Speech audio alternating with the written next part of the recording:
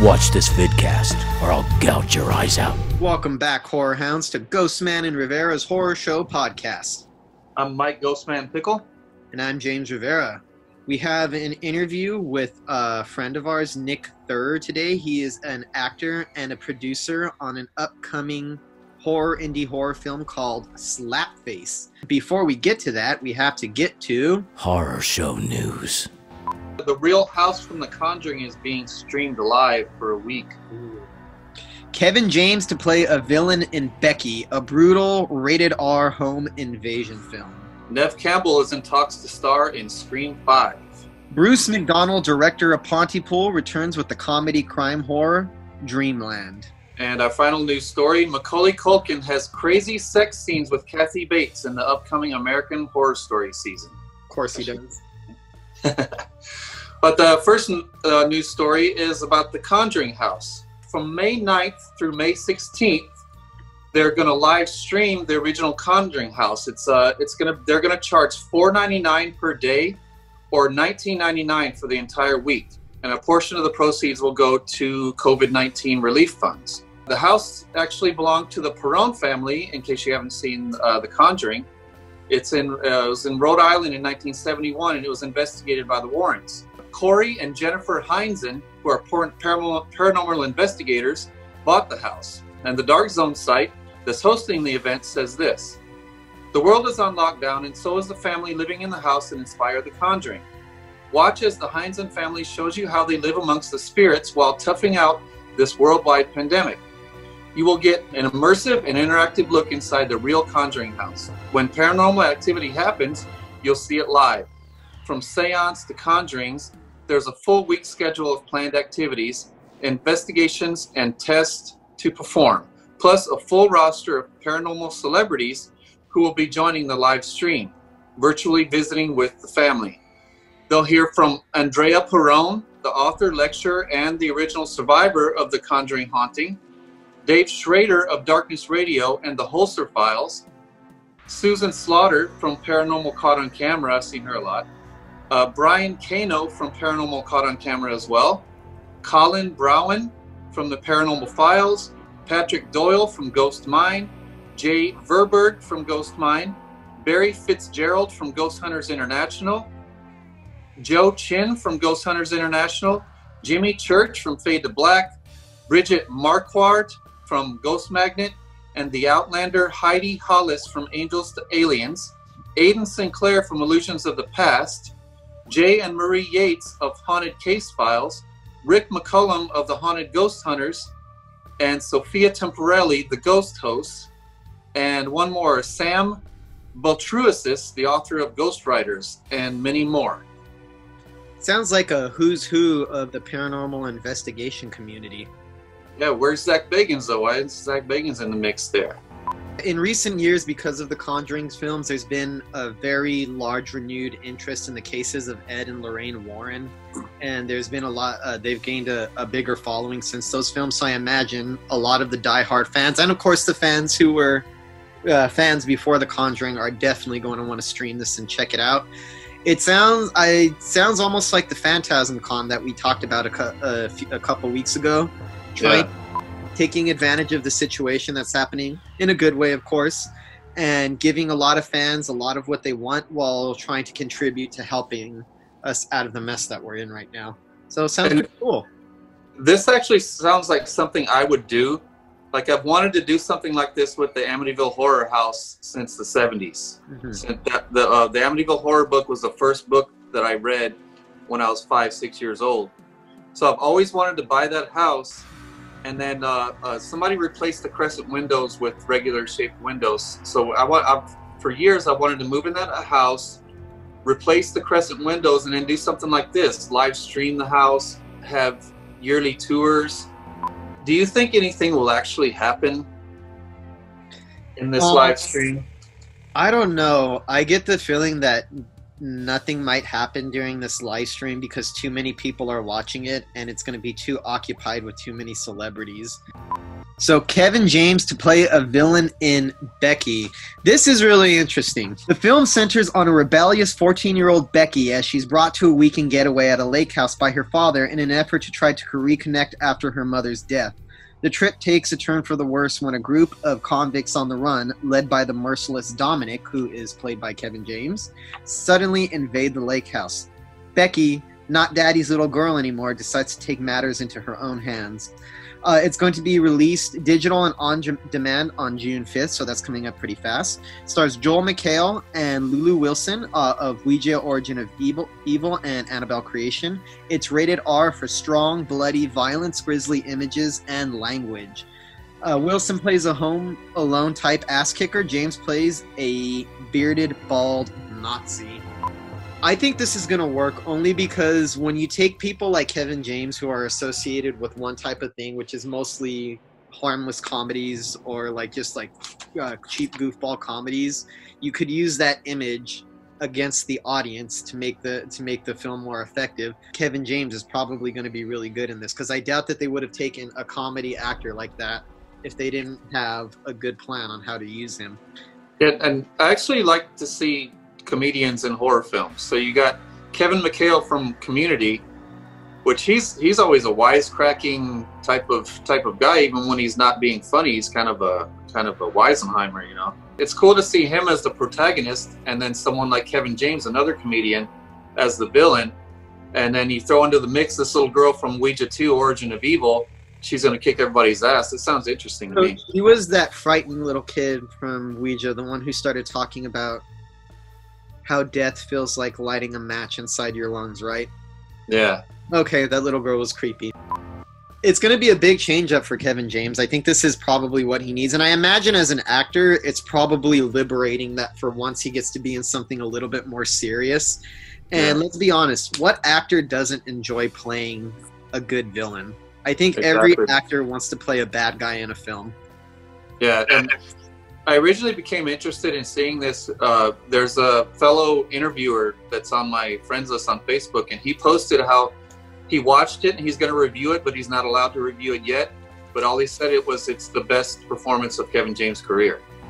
Our next news story I'm pretty excited about. Neve Campbell is in talks to star in Scream 5. Uh, the directors are Matt Bettinelli Olpin and Tyler Gillett, and Kevin Williamson is rumored to be writing the script. Neve says that she's in negotiations to return. And this is what she said in an interview with uh, Rotten Tomatoes. We're having conversations. I've been approached about it. The timing's a bit challenging because of COVID. You know, we only started the conversation maybe a month and a half ago, so it's going to take some time to figure out how it's all going to work out. We're negotiating, so we'll see. In an interview with Jake Hamilton with People, uh, Neve Campbell said that she was initially initially really apprehens- apprehensive about doing another screen without Wes because he was such a genius and he is the reason they are what they are. Uh, she says in a new interview that Olpin and Gillett wrote her a very touching letter about Wes Craven and how he is such an inspiration to them and how they really want to honor him if Kevin Williams is, is involved like they say he is, I'm going to be fully on board. What made Scream good was a combination of Kevin Williamson's extremely clever writing, uh, his dialogue, and Wes Craven's excellent direction of all of it. Now, it is going to be kind of sad to see a Scream movie without Wes Craven because it's it's one of the few French horror franchises where the original filmmaker st- stuck with it the whole way through. Most of the time they make one and once a sequel's made it's a different director and occasionally the director might return for them. But this is the one series that has been consistent through throughout all of them. So there is a part of it that a part of me that is a little bit apprehensive because wes craven's not around to direct this. I'm excited because these directors just did ready or not.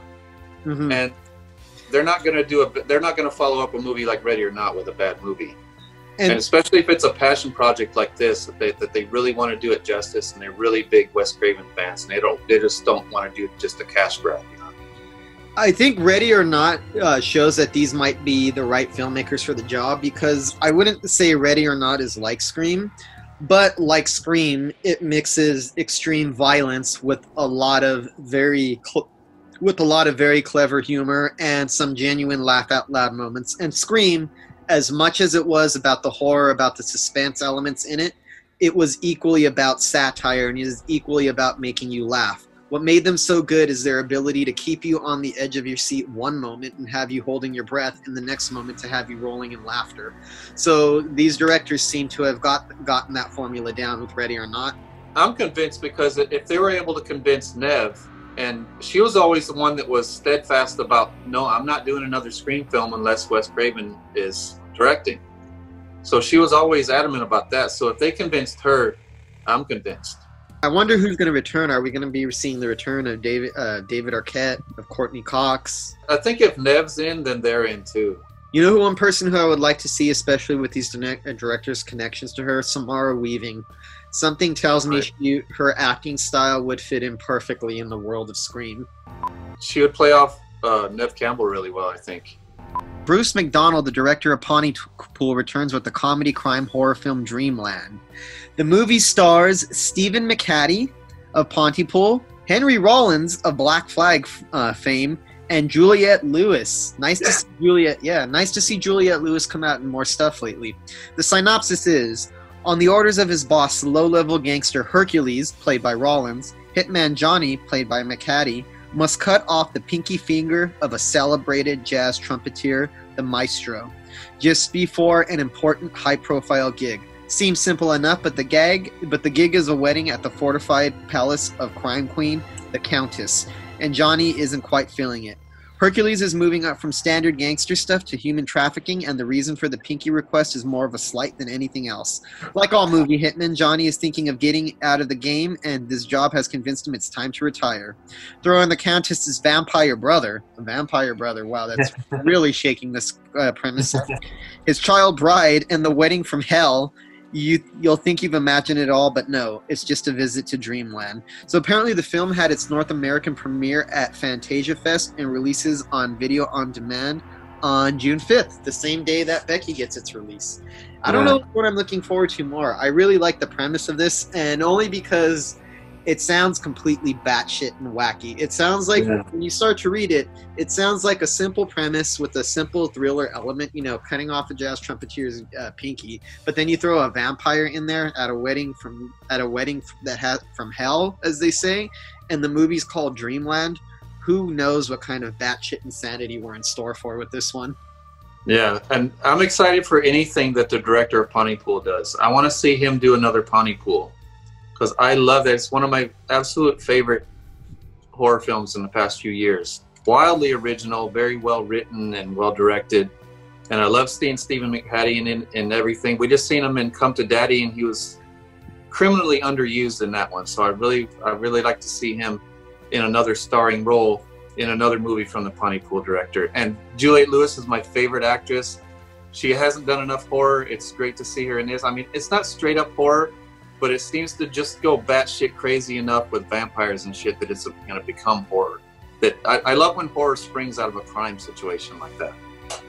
It's nice to always see Henry Rollins. He's always a welcome presence on anything. So our final news story is the weirdest one. Macaulay Culkin is going to have crazy sex scenes with Kathy Bates in an upcoming American Horror Story season. Uh, Macaulay Culkin actually decided to join the cast because of this. This was this comes from Ryan Murphy. Ryan Murphy told Culkin that he had a very great, insane part for him. And then Murph, Murph, uh, Ryan Murphy recently told E! News, I told him he has crazy erotic sex with Kathy Bates and does other things. He paused and he goes, This sounds like the role I was born to play. Okay. Mm-hmm. so he signed up right then and there. Besides Culkin and Bates, season 10 will star Sarah Paulson, Evan Peters, Leslie Grossman, Billie Lourd, Adina Porter, Lily Rabe, uh, Angelica Ross, and Finn Wittrock. And when the season will be filmed is still uncertain. Of course, everything's going to be a little uncertain for a while right now. Yeah, and, and according to Ryan Murphy, he said it's fully written. The season is fully written, but it's seasonal. A lot of it centers around what weather is outside. So this kind of throws off their whole thing because they don't know when they're actually going to get in production. And when they get into production, it might be the wrong season. So they might end up skipping this season and bringing it on next season. I mean, uh, American Horror Story is one of the few cable shows that actually has run consistently on time year after year. it lately, I mean, you've noticed it's become more of a common practice for television shows to take two years off at a time. Fuck, some TV shows take three years off. Ryan Murphy's own American Crime Story has large gaps in between the seasons. There's only been two seasons over the course of five or six years now, about five years Yeah. now, and he's still planning another one, and the other one isn't going to be coming anytime soon.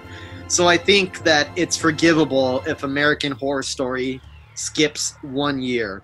However, I know a lot of fans are going to be disappointed because American Horror Story has become an annual tradition for horror fans, and people look forward to it every year. And Yeah. I know it's going to upset some people that it's not running on schedule, but hey, it is what it is. And I'm okay with it, uh, with holding it off, especially if they're going to produce something good. I don't want them to film it in the wrong season. If it's supposed to be in the summer, I don't want them filming it in the winter. I'd Exactly. rather just hold off and wait until they get it completely right. We don't need to see any cheap day for night scenes being done. We don't need to see anything like that. And I like the addition of Macaulay Culkin. We did talk about him joining the the show uh, on the podcast a couple months ago. Yeah. He seems to be the right fit for this style of story. The the career that his the trajectory that his career has gone on ever since he's become a child star seems right for something like this when you think about his roles and stuff like Party Monster. And you think about going all the way back thinking about something like The Good Son, it's been a while Yeah. since we've seen Macaulay Culkin in something flat out horror. And I think his brothers have been kind of outshining him recently. You see them appear more Yeah. frequently in films and TV shows than you see Macaulay. So it's nice to be having him back. Although I don't think anybody was asking for a sex scene between Kathy Bates and Macaulay Culkin. But hey, we got it, and I hope it's entertaining. yeah, that, that's going to be interesting to say the least. And it's nice to see some of the cast uh, uh, returning after they took a lot of time off. From uh, a lot of them weren't didn't go for American Horror Story 1984 last year, and I guess that Yeah. makes sense because because the type of story that that one was going for was more suited for different types of actors than the ones that they normally use anyway. and everyone involved seems to be really excited about this script. So I'm with you. If, if they need to hold off a full season and do it next season, I'm down for that. Mhm. Because you know, there's going to be a gap in production of all movies and TV shows, right? But I think the horror genre is thriving so much right now. There's so much being released that I think there's going to be a just there's going to be a little uh, a slowing, I think, of the releases. But I think there's going to be plenty to fill in those gaps when we have to wait for stuff like American Horror Story. Next, we have an interview with Nick Theurer. I'm very excited for you guys to get to know a little bit more about Nick. Really cool guy, uh, very good actor, and an upcoming producer on the indie horror scene. This kid's got a lot going on. We'll find out a lot about him in this interview. Hope you enjoy. Horror show exclusive. We have Nick Theurer on the podcast today. How are you doing, Nick? I'm doing well. I'm on my second glass of wine, so not bad. Same for me too. My second glass for the night. And you know what, Costco, cheap wine, it's still good. So Oh no, my family is wine connoisseurs, so there's a bunch of it all over the house. So I have it whenever I want. it's like hiding your wine. You just go find it in different rooms. Yeah, I didn't know this was a wine party. I only brought water. I Oh. didn't know it was a wine party either. This is all coincidental. Every party's a wine party if you make it. There you go. So, uh, before we get started, how are you handling the lockdown situation right now? Uh, the lockdown situation has been surprisingly refreshing. I, I have friends that are nurses, that are doctors and stuff, and I feel for them because they're going through hell. So I applaud them. I appreciate all the first responders. But uh, on my end, being in the entertainment industry, I'm one of the few lucky people that's been benefiting from it.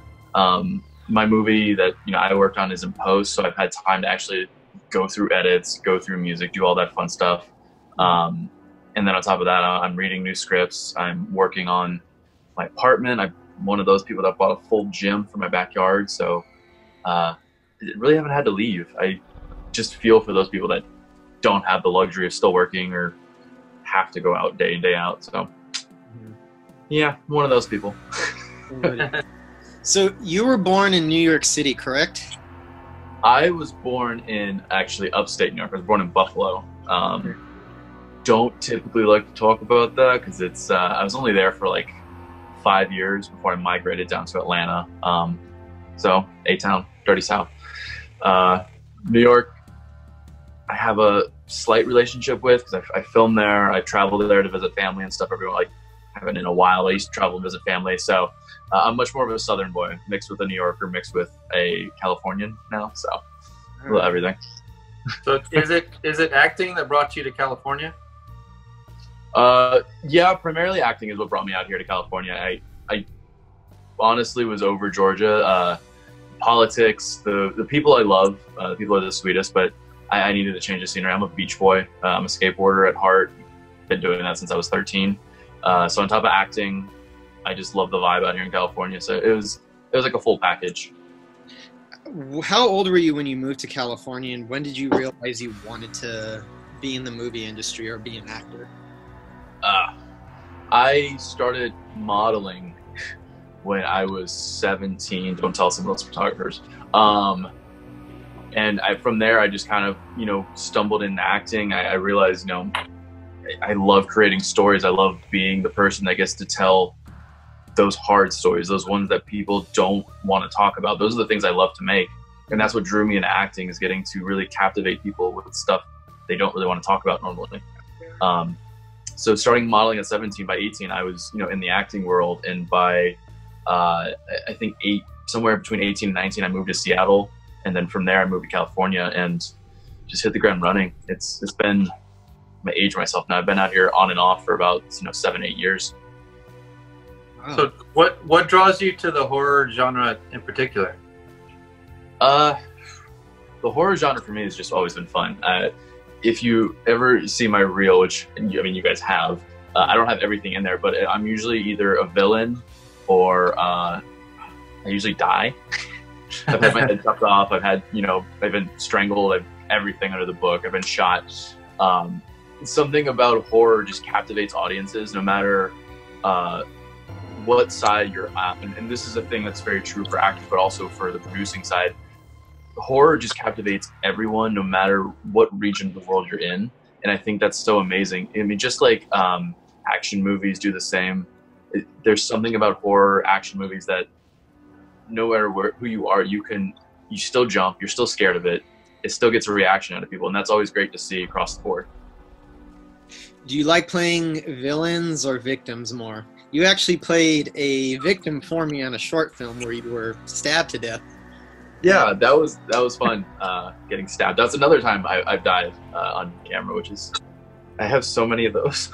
um, honestly, playing the villain is a lot more fun. Um, playing the victim's obviously great because you get to really bring out some cool emotions.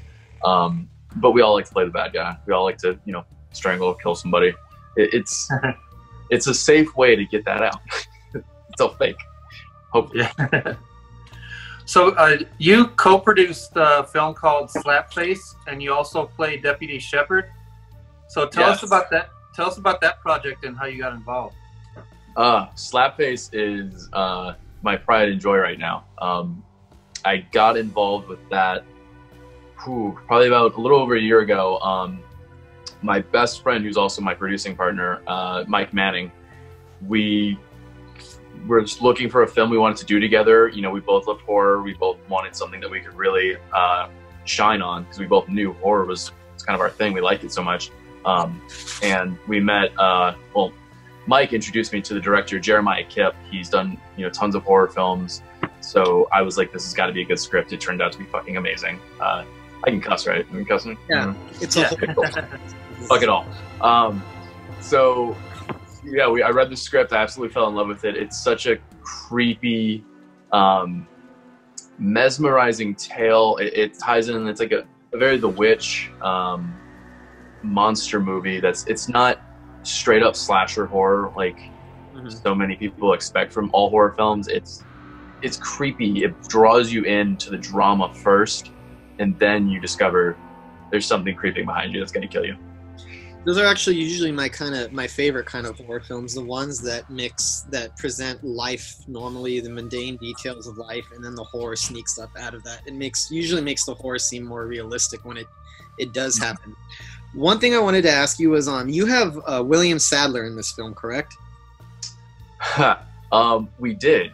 Oh, Uh, okay. So what happened? he we had William Sadler. Um, he had a scheduling conflict. Um, I, don't know what film he got brought onto, but it, it was a bigger project than ours. So uh, we actually didn't end up using him. We got Dan Hedaya, who uh, everybody's like, I know that name. Why do I know that name? Everybody, they have some reason cannot picture him. As soon as I show them his IMDb, they recognize him. They're like naming the thirty thousand things he's been in. He's been uh, in probably more. This is actually true. He's been in more films than I've been years alive. So he's he's a legendary veteran actor. Uh, he's a New York actor. So we were you know so grateful that he took time out of his day to come you know film with us. He played our sheriff, um, who is a uh, a father figure to two of our characters, and he just killed it. No pun intended. Pretty awesome. He's worked with uh, the Coen brothers and David Lynch. It's on Blood Simple and Mulholland Drive. Those are actually two of my favorite movies. So that's pretty awesome that you got him to Yeah. be in your film. Mulholland Drive, it, it- it's a legendary film. So just to get to work with a legend like that, I, I was like, uh, I was like behind the camera, just being like, "Don't panic, don't panic. He's not okay. I'm, I'm freaking out." Yeah. so, can you tell us anything about the monster? Uh, let me think. The monster. So I, I guess I'll give you a little bit of a, a breakdown of what the movie is. Um, the movie centers around uh, our main character. His name's Lucas. Um, he's played by August Maturo, who's in The Nun. Absolutely, again, every actor on our set killed it. So um, it, it's around. It's about August uh, Lucas. Um, he goes through a traumatic event uh, with his parents. Uh, he loses them, and because of that, he ends up befriending this monster in the woods, um, who in turn just wreaks havoc on his life. Now, what I can tell you uh, about the creature in the wood, it, it's more of a uh, a folklore type creature. So it's not again, this isn't like a slasher, uh, Freddy vs. Jason type film. This is something that's much deeper. It derives in the fact of you know something mystical, something uh, very ancient and old. So it comes across in a way, kind of like I don't know. Like, oh God, I'm trying to think of a good example. There's not really a lot of examples out there, which I kind of like. So uh, I I can't really say too much about it because a lot of the premise of the movie derives around you know the witch's involvement in the kid's life. So I can't really tell you too much about it, but I will say it's a folklore creature, um, and it it gets pretty nasty and pretty bloody. So that's gonna be fun. Cool. How did you land August Maturo for the role, or what made you guys go, decide to go with him? Um, we went with August. We were actually grateful to get him. Uh, we auditioned a few of the younger actors, and he's was top of our list. I mean, he was in uh, Girl Meets World, and that was already like he showed he could do a little bit more of like the the normal mundane like regular acting, the you know the somewhat drama. He can do a little bit of comedy, the dry humor, which we wanted. Um, and then we saw him in The Nun, and that was it's hard to find young actors at that age range, you know, the 10 to 13, 14, that can really depict a good horror, and especially as a lead to carry that. Uh, so when we saw him in The Nun, we knew he had it. It was like hands down, he was our choice. Um, and then on top of that, I'm just going to throw it out there. We had such an ensemble of cast that, uh, like I mentioned, Dan Hedaya, Mike Manning is in it as well. Um, my, he's my producing partner. He was one of our main stars. He killed it. Um, we had the D'Ambrosio twins, Bianca and Chiara. They are uh, really big on Disney, Nickelodeon. They are the two bullies in the film, and they, uh, they again, they choosing this word again. They wreak havoc on uh, Lucas. They do it so well. You guys are gonna love them. They're great villain characters that have uh, some great twists and turns in their stories as well. So, what are the plans of, the, of this film as far as uh, uh, festival run, uh, distribution? What's going on with that? Um, so right now, as far as our plans for the the slapface film, um, we are in post. We're pretty much done with editing. I've seen a few cuts now, and it's amazing. Uh, so we're about to move into special effects, do all that fun stuff, and then once that's done, we're already talking to a few places as far as distribution. Um, we're obviously going to hit, you know, uh, the bigger markets first and see, you know, if we have any catches. Uh, right now, there's already a few people that reached out to us. I can say that seemed interested, so that's good news. We're on the right track from our our teaser trailer we sent them, uh, and it's going to go from there. Honestly, whoever picks it up distribution wise will change the route of what we do. Uh, if we, you know, don't find any big distribution uh, companies to take it on, we're going to hit the festivals. We're going to hit every horror festival we possibly can because this is uh, again a different type of horror that most people like to dive into. It's not your typical slasher film, so I think it'll do very well in festivals. Are you hoping for a theatrical release for this movie, or would you be okay with like a VOD release, given everything that's been going on with our current situation? Um, I would love a theatrical release. Now, honestly, no theaters opening up anytime soon unless you're wearing a giant bubble suit. Um, it's inevitable. I would say that it's going to end up in theaters. I, I I'm pushing that for hardcore. Are pushing that hardcore. Um, our other producers really want that as well. So I think that's definitely in the playing cards. Um, I, would love to see it, obviously, on a Netflix or Amazon, depending on our distributors. Uh, right now, we're in such an odd era of content needed being needed. So we're in a good place as far as you know talking to these bigger uh, companies as far as getting it like on Netflix stuff like that. So if it's not in theaters near you, it'll be in a you know a living room near you.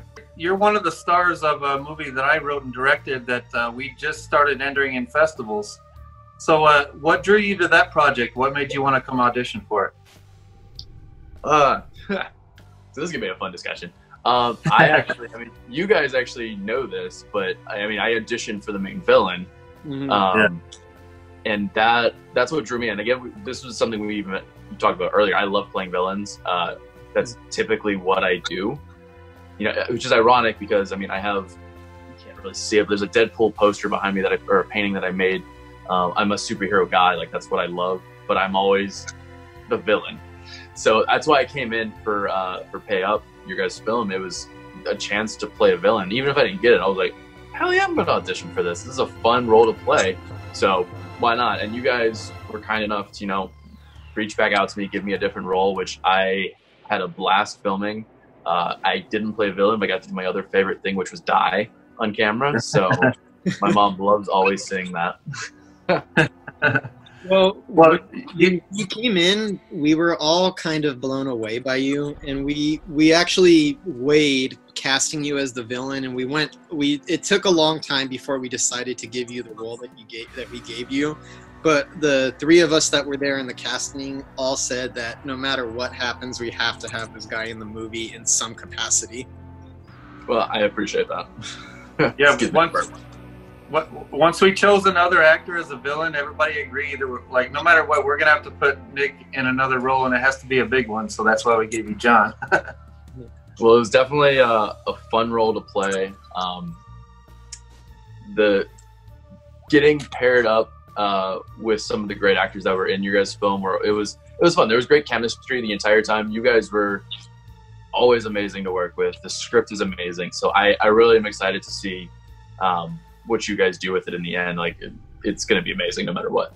Yes. Well, the, the the reason why we were able to get through it like we did, we did it in about five and a half days. It's a feature film, and one of the reasons we did that, one of the big reasons, is because you and Adam did 21 pages of script in one day. Yeah, that was so how how was that challenge? that uh, may have given me a stroke at one point um, before I got to set. Because I mean, me and him, thankfully, we rode up there together to set, which was I think it was like an hour and a half drive or something. So we were just doing again and again and again. So we we thankfully uh, we had a little bit of time before filming. So I mean, me and him both knew our lines by heart.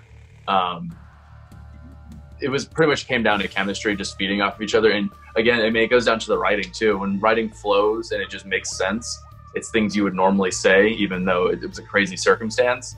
Um, it was just easy to memorize and easy to get off, you know, off the page. So that goes to you guys. Actually, it's to Mike.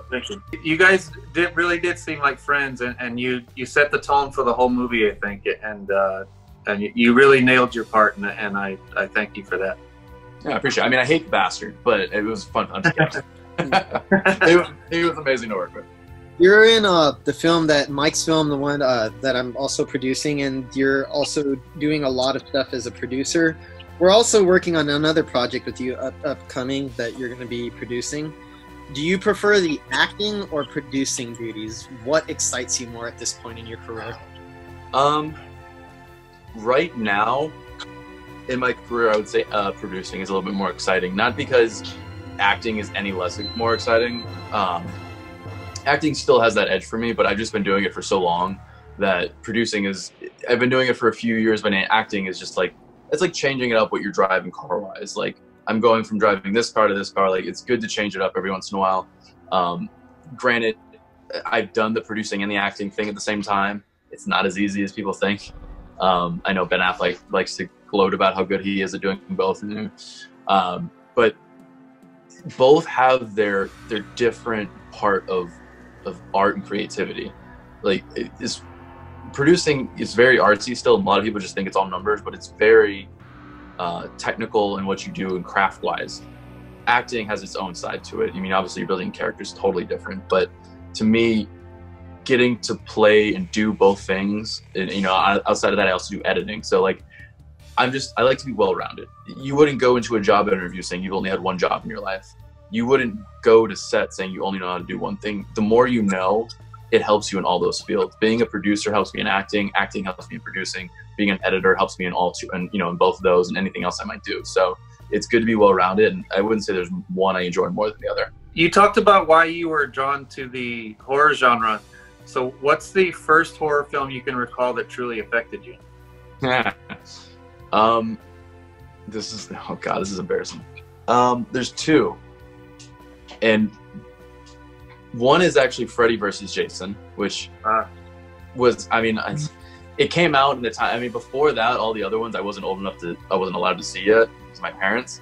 Um, and I wasn't supposed to be watching Freddy versus Jason either. I was like, I think 13 or 12, something like that. Um, my brother put it on, and of course, my mom walked in and you know threw a shoe at his head. But that kind of set the tone for watching slasher flicks, watching slasher flicks, and getting to see like these can be fun, they can be funny, they can be gory, um, they can actually have a story to them that's not just you know a woman tripping over uh, a, a, shoe or a guy you know doing something dumb and getting killed in the corner. Like there's a lot more to slasher flicks. And the other one uh, was Anaconda. Oh, uh, that, that one uh, that one scarred me. I, I have a I don't have a fear of snakes. I would say I just greatly dislike them. Um, so Anaconda, when that came out, that kind of scarred me. I was every time I turned off the lights, I was like, "There's a giant snake somewhere in my room. Like, what is going on?" it, it, didn't make no sense, but it was a, it was a fear when I was young. So that one definitely changed it. Um, and then over time, you know, I, have watched a lot of of horror films. Uh, American Werewolf in London was a great one. I, I rewatched it recently, actually. So that one, you know, took me back. So I would say probably those two, and then there's a lot more that have shaped me, but those two did the most. You have actually have a friendship with the filmmaker Michael Dougherty, the director of Krampus and the perennial Halloween favorite Trick or Treat. How did you meet uh, Michael, and how did that friendship start? Um, so this is a this is a funny one. Um, one of my good friends, uh, his name's Tom we um, he invited me to a game night. He was just like, "Hey man, we it's you know Thursday night or something. I don't remember what it was." He was like, "Come to my buddy Mike's house. We're gonna we're gonna play games." So I showed up at you know his house, which is literally decorated as you would expect, very horror, very uh, very creepy castle like, which I love. I thought it was amazing. I'm like, I'm buying your house one day if I can ever afford it. Um, and we just hit it off. Me and him have a lot of similar interests as far as horror, but then outside of that, you know, he's he's a nerd. He's a geek. He loves the weird, creepy stuff. I'm into uh, Egyptian stuff a little bit, and he has you know tons of shit all around his house that is Egyptian. So that was fun to check out. Um, and probably, I think I may have told you guys this story, but the most memorable thing about him that from that night uh, was I'm absolutely terrified. This is another film that scarred me when I was younger. That was horror. That kind of got me into it. Uh, was The Exorcism. Um, and I went in to go use the bathroom during game night, and he has a, a life-size doll of the exorcism in the bathroom with glass eyes it's too real uh, i literally screamed like a 12 year old i ran out of the bathroom everybody's laughing uh, so i go back into the bathroom and i am peeing and staring holes through this doll. Like it is, if it moves, I was ready to kick it straight through the door. Uh, I, I, I swear it twitched. Everybody says it didn't because it's not real. But so I finished going to the bathroom and I'm like, "Mm, I did it. Yeah. I open the door, I step out, and I'm like, yeah, guys, he has a second doll that he placed outside the door. Oh, So as soon as I open the door, I see another one.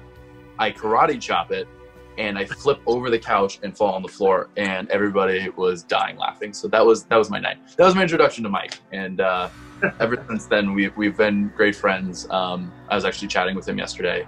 Uh, you have to be a little careful with chatting with him because he's always trying to prank you on everything. He is, as much as I like to think I'm a prankster, he is the king of pranks. So I, I've learned my lesson to stay away from him on that. Alright. You've done. Uh, you also have a following on uh, various social media for cosplaying as Nightwing. Am I correct? That is correct. Yes. So, uh, is this a dream role for you, Nightwing?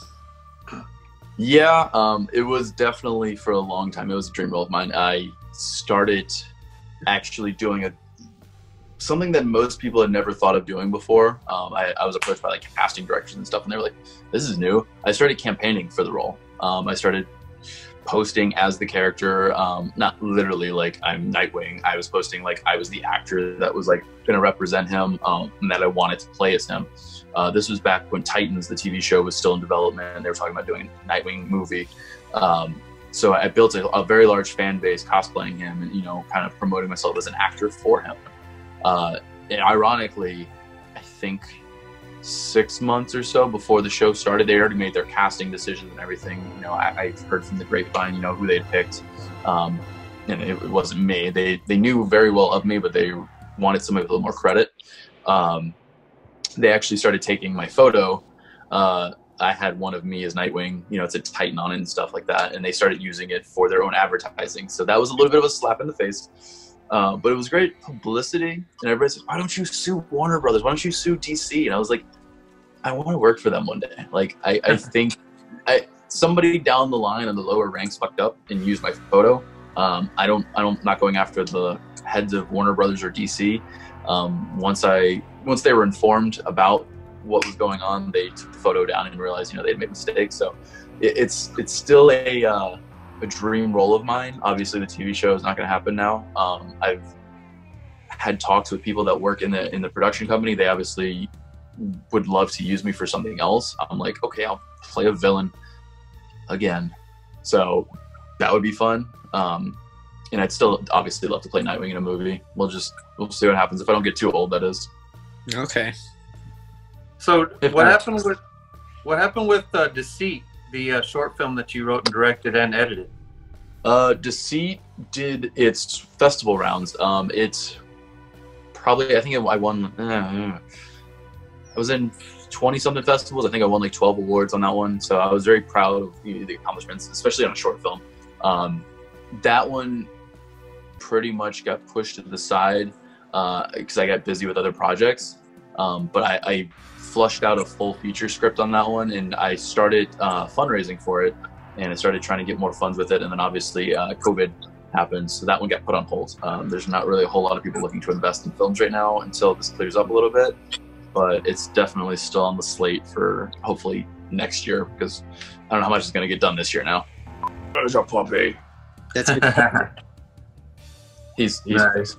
he's on some CBD THC medicine right now, so he's just like, Are you a proponent of weed? Oh yes, I, I'm a huge advocate for weed. It's I know too many people that uh, have benefited from it. They, I, I'm working closely with some some very high end people in the THC field, uh, doctors, um, that it- it's moving along very quickly as far as progression in weed in the world. Um, the UK, Africa, everybody's starting to actually realize the propaganda that was behind cannabis in the uh, the 1930s and 40s after the war. Um, I'm sure you guys have seen Reefer Madness. Of course. Um, so you know the propaganda that was all behind that's all bullshit. Uh, so I, I am a big advocate for weed. I think it's it's a great medication. I, I'm not a huge advocate for those that love to smoke just to you know become a, a vegetable on the couch.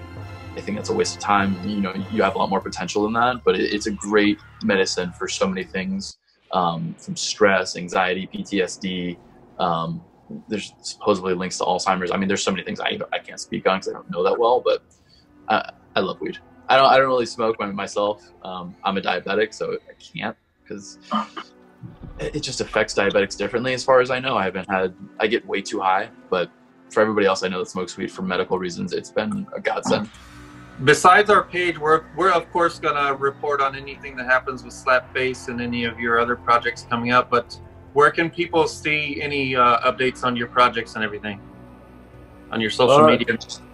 As far as my projects, anything I'm going on uh, right now, I I've been sucked into TikTok. Um, nothing on there is going to be film related. It, it's pretty much just me being an idiot. Um, so you can find me on TikTok. Uh, Instagram, I post a lot of stuff as far as you know my personal life, but I also post a good bit. Uh, if there's ever news with any films I'm doing, anything I'm in, I love to post articles. I love to promote, so that's definitely something you can find me on. Um, and I have a few Facebook pages as far as that goes. Uh, I post some stuff, and then I have my website. Not really updated that in a while. It's mostly my acting website, so you won't see too much producing uh, posts and stuff like that on there. All right, so we'll we'll put those links along with this episode so people can click on. Yeah, I'll, I'll throw links at you guys. Cool. Before you go, what is your favorite horror movie? Shit. Hmm. Let me think about this one. Or a couple of favorites if you had to narrow it down to a few. I know it's hard to pick one movie over anything else. you know, this is this is weird because like i said so horror films to me are meant to really creep you out. I don't i think if if something doesn't change in you after seeing it then it didn't do its job. Like obviously i don't want to see a horror movie and walk out being like that wasn't scary at all. Now the the exorcist of emily rose i saw when i was like 14 um, i'm still terrified of it. Like I said, I'm scared of all the exorcism movies, but I think that's one of my favorite because it really did such a good job of capturing the whole like the fear of that realm of like possession and stuff like that. Um, outside of that, a recent one that I really, really, really loved was A Quiet Place. Um, it, it's the editing. I, like I said, I do editing and stuff like that as well. So the the style in which they did it, which is obviously almost silent, they should have won an award for their sound. Hands down, they were nominated. They didn't win, sadly. Um, Yeah. But that that film just creeped me out because it's such a a weird twist on a, a new horror genre. Like we almost went back in time to like a silent film in a present day with like monsters and stuff. It was just so interesting and cool. I love the style that they did that in. Um, obviously, I have a lot of other uh, horror films that I love. Krampus, Trick or Treat. I'll throw those in there for Mike so he doesn't kill me. Do you have any advice for anybody trying to make it as an actor? advice on being an actor um, follow your gut follow your heart. Uh, it, it's not an easy route. Think of it as going to college going to school. Um, the days of people coming here and picking up a job just because you know some producer saw them walking down the street it's very rare. I'm not going to say it's impossible because it could happen but you have to think of it as a job. It, you spend time going to school. You need to learn. You need to study. You need to spend the four to eight years to 12 years you know grinding those gears learning your craft um, but i also hear a lot of people say you know if you don't make it by you know 25 you don't make it by 30 by 35 and like obviously it's always changing that's not true there's so many actors that i see like i mean i'm i'm 28 now i, I don't consider myself to be the most veteran actor um, and I, I wouldn't say that I, I fully made it yet. Like I have a lot of things that I want to accomplish, but I'm doing what I love, and that's what you want to do. Do it. Being an actor doesn't mean you're making you know millions of dollars and you're living in a mansion. Being an actor means you're doing the thing you love for the craft and for the art, and that's the reason you should be doing it. And don't give up, no matter your age, your gender, your your anything. We'd like to thank you so much for coming on the show, Nick. And uh, we look forward to showcasing your talent and pay up coming up in festivals later on this year. And uh, Yeah. thanks again.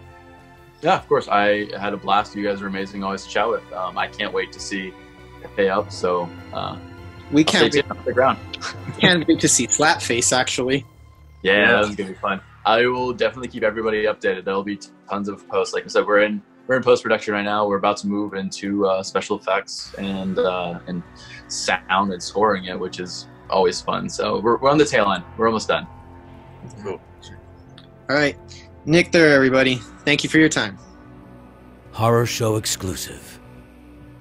Well, we hope you enjoyed that interview with Nick Theurer because next up, we're going to be talking about the latest documentary series on Shudder that is all the buzz right now Cursed Films.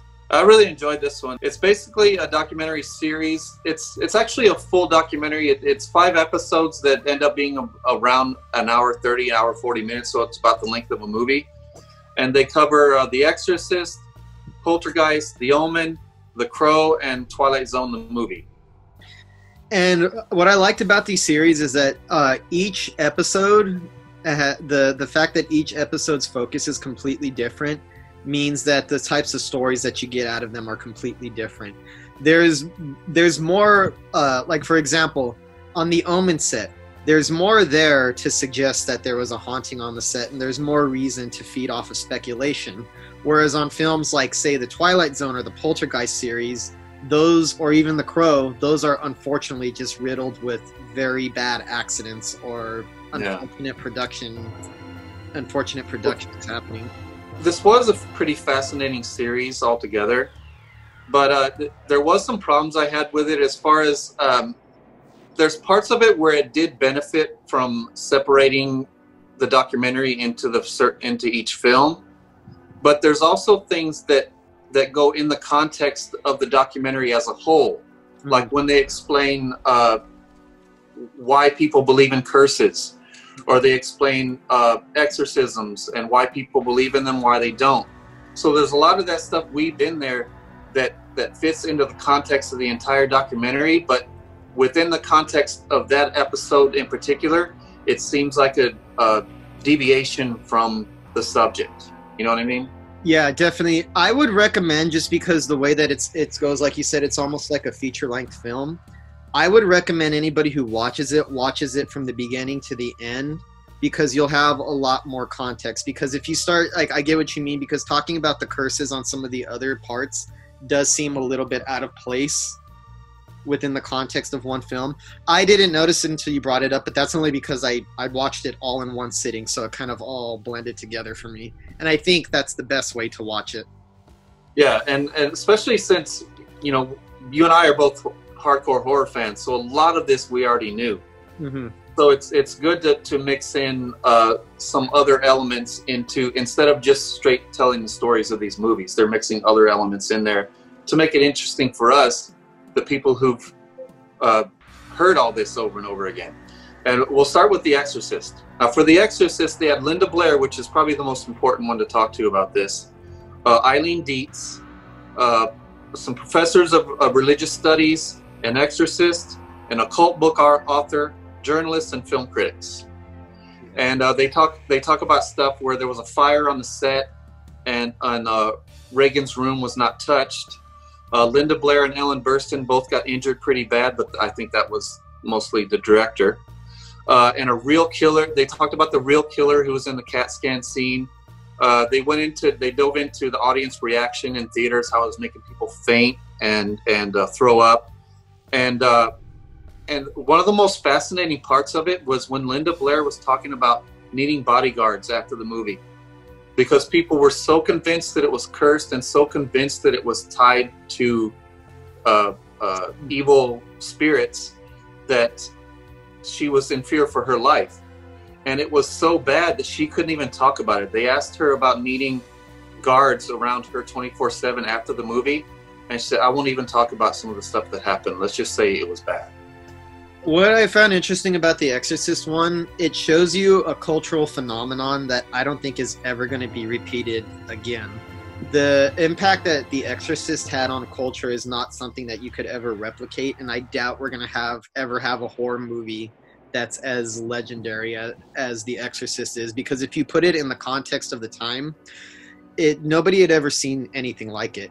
And my whole thing with The Exorcist, and to me, what makes it such an effective horror movie, is it takes supernatural events and gives them a very gives them a very tangible physicality.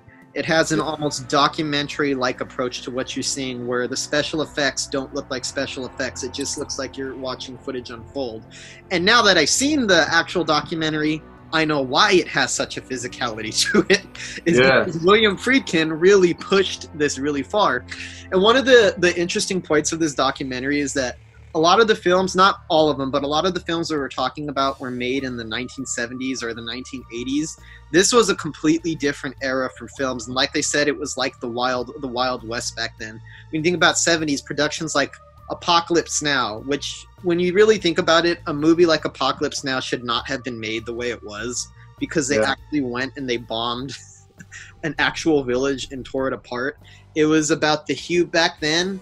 The director was like God. There was no oversight, and every bit the directors kind of bought into their own myths, their own legend, the hubris. So William Friedkin did things on the set that if they were to happen on a film production now, that director would probably get canceled on Twitter, and there would be a lot of pushback. Like for example, when the, I was pretty shocked when I found out that uh, Linda Blair, when she's being harnessed back and forth on the bed, that she actually fractured her spine. It made me look at the scene a little bit differently now. When I look at him, like fuck, that looks like it's like it's painful. Uh, especially since they used the take that she got injured on. So Yeah. the when you're watching that happen on scene, you're watching her spine get fractured. and it's very painful. So, like I said, now I know why the film possesses such a, a- that physicality to it. It's because Friedkin really pushed all of the actors on the set to go far. Actually, fired a gun off on the set, which I was not aware of. I didn't know that when Ellen Burstyn, like the moment when she's in the room and she gets pulled back, I didn't know that she was actually pulled back that aggressively and was actually hurt. But that's, I guess, why it makes the scene so effective. It comes from an era of movies where the rules were a lot different. And granted, I'm I'm happy these movies exist because they've created the 1970s and 1980s have given us some of the greatest films in the history of the medium. But I do think it's a good thing that people have calmed down on how they treat people on set because at the end of the day, these are just movies and it's not worth injuring or hurting people to get them made. There's ways to make things more effective without actually fracturing somebody's spine or Yeah. injuring them by actually throwing up against the wall. And God forbid, firing off a gun on the set to scare somebody Well, like extreme like tactic. like Linda Blair said, it wasn't just some Yahoo shooting guns off on the set. It you know it, she he done so many things that she would not have normally put up with, and these actors would not have normally subjected themselves to. But because they seen his passion, and all his passion came from not wanting to deliberately hurt anybody to get a good shot, but pushing them to their limits to get the best results possible. And and like the the one the two accidents with uh, with Linda Blair and with Ellen Burstyn, they were more than just onset accidents. They were willfully uh, pushed in that direction. pushed in that direction by the director. And th- this is something that's it's a bit more inexcusable in one of the later movies we'll talk about. But in here, I think it's a little more understandable, I guess. It comes closer to being justified than the last film in the documentary series, and we'll get to that eventually because I have Because to say about that. Yeah, because uh, The Exorcist, I mean, it went, it went is still down in history as one of the greatest horror films ever made, and one of the greatest films, period, and one of the most effective. So uh, I, I guess some, I mean, Linda Blair actually talked like it was worth it to her. hmm She says that she wouldn't be the person that she was, that she is now, if she didn't go through these traumatic experiences on The Exorcist. And I think what's more traumatic for her wasn't the actual filming, it was the reaction that she got from the public. And I think that's the problem with talking about cursed films in a certain context or saying that it's cursed because you're putting something on the actors and the people involved that they might not be comfortable with. I don't think it's fair that a little girl had to live with the stigma that she's actually evil just because she acted in a acted in a film and because people Yeah. take it way too seriously. I think there's some level of damage of trying to make too much of a conspiracy out of what happened on the set. I just Yeah. view it as a director who went a little bit overboard. The interesting thing though which is fucking weird. I was already aware of this, but the fact that there is a real killer in the movie who is actually one of the lab techs, is actual a real a real lab tech, ended up murdering a variety journalist and chopping them up. That's a really freaky detail. When you combine those accidents like that and the fact that there's a serial killer and then the fact that it's The Exorcist, how people thought the film was actually evil. People thought that by watching it, that you were inviting the devil into your life. People thought that there was actual evil in the celluloid. That combined with the onset accidents, uh, Linda Blair's treatment, and of course having a real life murderer on the set is only going to help heighten the urban legend surrounding The Exorcist and its production. Yeah, and, and this is one I do not think it's cursed because a lot of the stuff came from The director.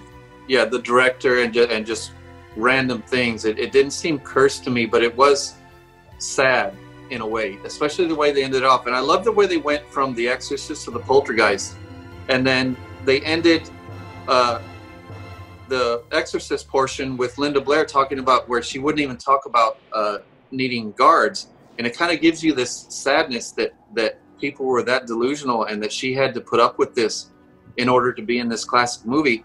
And then that sadness carries over into Poltergeist, which is another film that's not cursed. I don't think it's cursed in any way. It's just horribly tragic. Mhm. And and what you really see in this documentary is is just how deep the tragedy went and how deeply sad it is. And on this one, they had uh, they talked to horror fans, podcasters, authors, journalists, and uh, makeup, and most importantly, the makeup effects, effects artist Craig Reardon and director of Part Three Gary Sherman.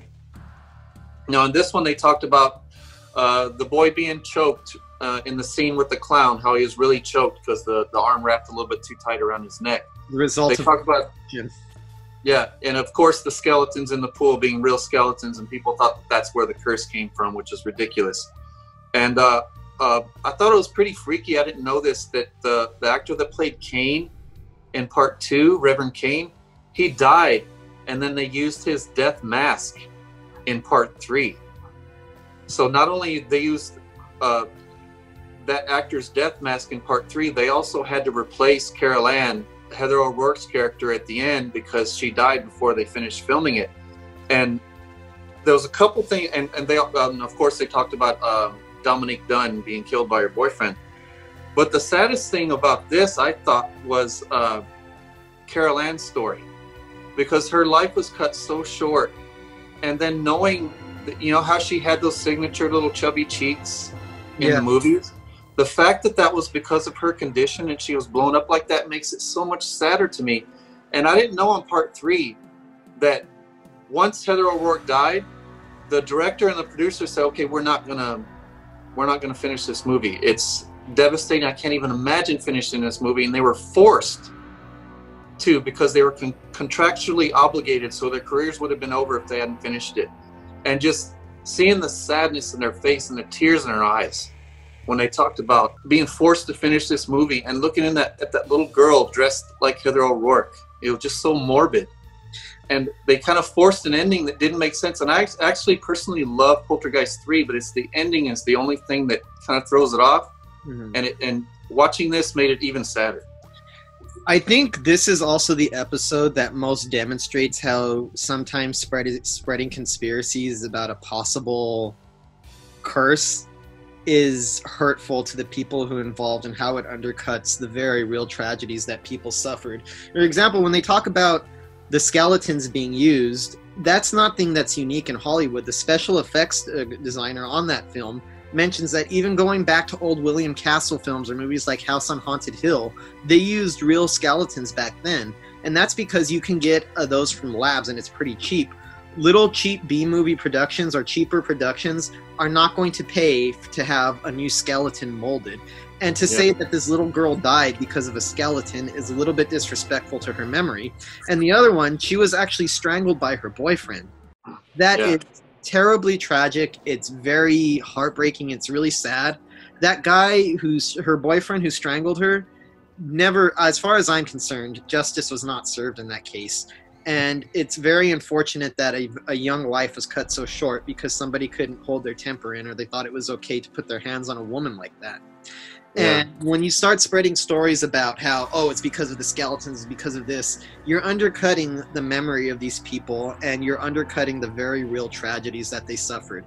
Heather O'Rourke died because they misdiagnosed her stomach issues. They thought that she had Crohn's disease, so they were treating her for Crohn's disease. What she actually had was a blockage that eventually exploded, and all the toxins uh, sent her body into shock and killed her.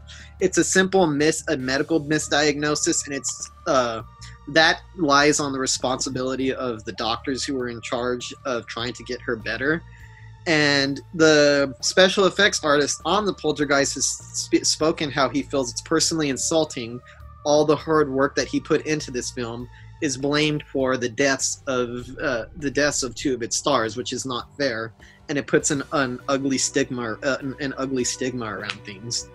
Yeah, it does. That one was definitely heartbreaking to sit through because of the stories they felt, the- what what what people went through on the set, and as far as the clown choking the kid, technology malfunctions. I mean, fuck. Last week when we were doing this podcast with David Howard Thornton, we couldn't get it going all the way. All the we couldn't get it going. It kept going. The Zoom kept going in and out. We were able to edit together and put good into a good podcast, but technology malfunctions. That's just part of Yeah. it. It doesn't mean that the film was cursed and that the the kid was being strangled because the film that they were doing.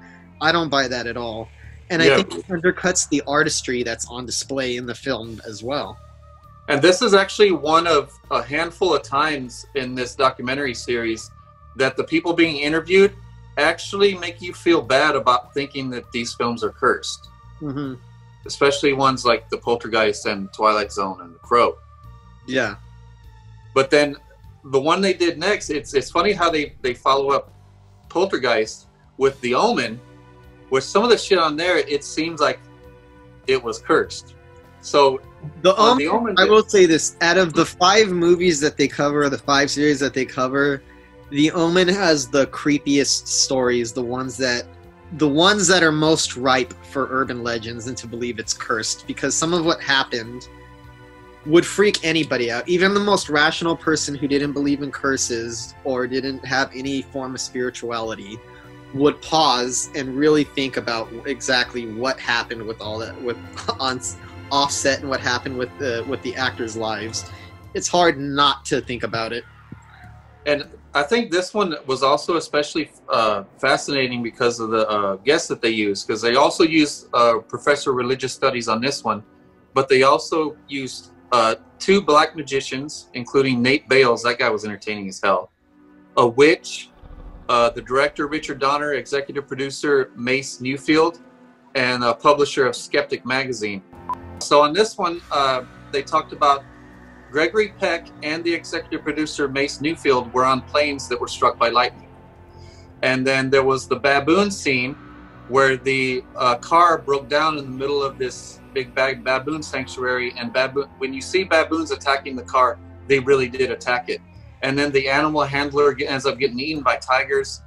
Uh, the effects artist John Richardson was in a car crash where the passenger was beheaded, much like the scene in the movie and he looked at a nearby road sign said Omen 66.6 kilometers. It was a it was a nearby town called Omen O M M E N, and it was 66.6 kilometers away, but it was right there by the, the crash. And also a plane that was chartered but switched at the last minute crashed, killing everyone on board. That that was tied to the production. And then uh, so this one they do a lot of uh, analyzing why people believe in curses and why they believe in supernatural things. So they they did a kind of fascinating exercise in perception on here, where the guy says something pretty cool with the where we see things that aren't there, and then we miss things that are. He illustrated that by showing a group of people throwing a basketball back and forth. Some of them had black T-shirts, one some of them had white T-shirts, and they they wanted you to count how many times people in black t-shirts pass the ball to each other. So you're counting it while a guy in a monkey suit comes right in front of the, in the middle of the screen and dances around and keeps walking. And I don't know about you, but I didn't see that.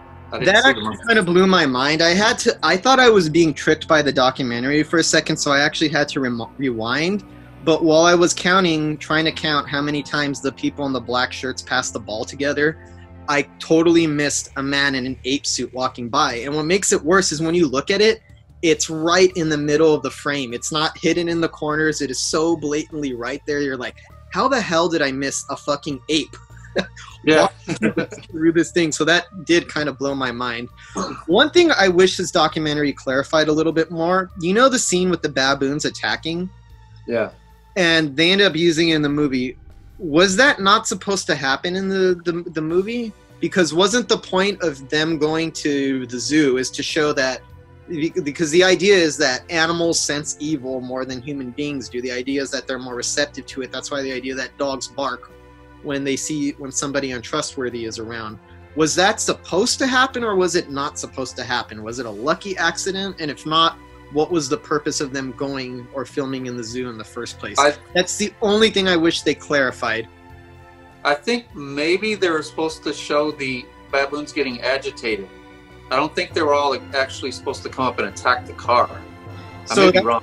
So that's Hmm. if that's the case, then it's just simply of a case of the scene going even better than they could have ever initially expected. Because within the context of what's going on right there, it seems totally appropriate that the baboons would be attacking because it signals to the audience that the little kid in the car, Damien, is actually evil. So that was Yeah. just a malfunction that I think probably benefits the film because they do actually look horrified. Yeah. Go back and look in the movie. Now we know why.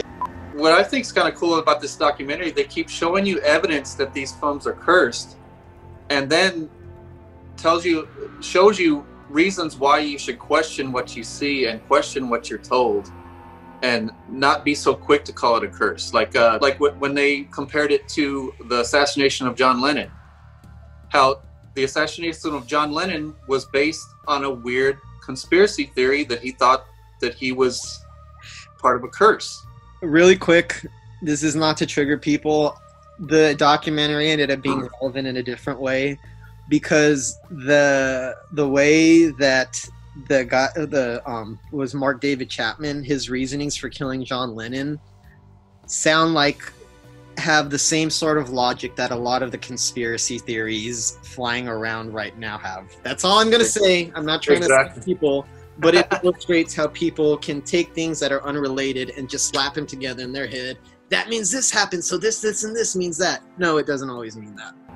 this uh, episode of the documentary is, is another one that ended on a fascinating note where it had they were talking to richard donner the the director and executive producer mace neufeld they go through this whole episode this evidence that it's cursed and these crazy coincidences all this all these tragedies that happen and then they ask them at the very last of the episode just as they're about to end they ask so do you think the film is cursed then?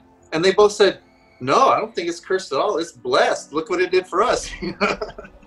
I thought that was a very interesting perspective to add at the end because when they said if it were really cursed, those actors would have been on the planes that the the planes would have went down and Gregory Peck would have gotten on his original flight that would have would have went down. He said the fact that he avoided a he avoided a flight that eventually crashed and still survived when both people still survived when the planes were being struck by lightning.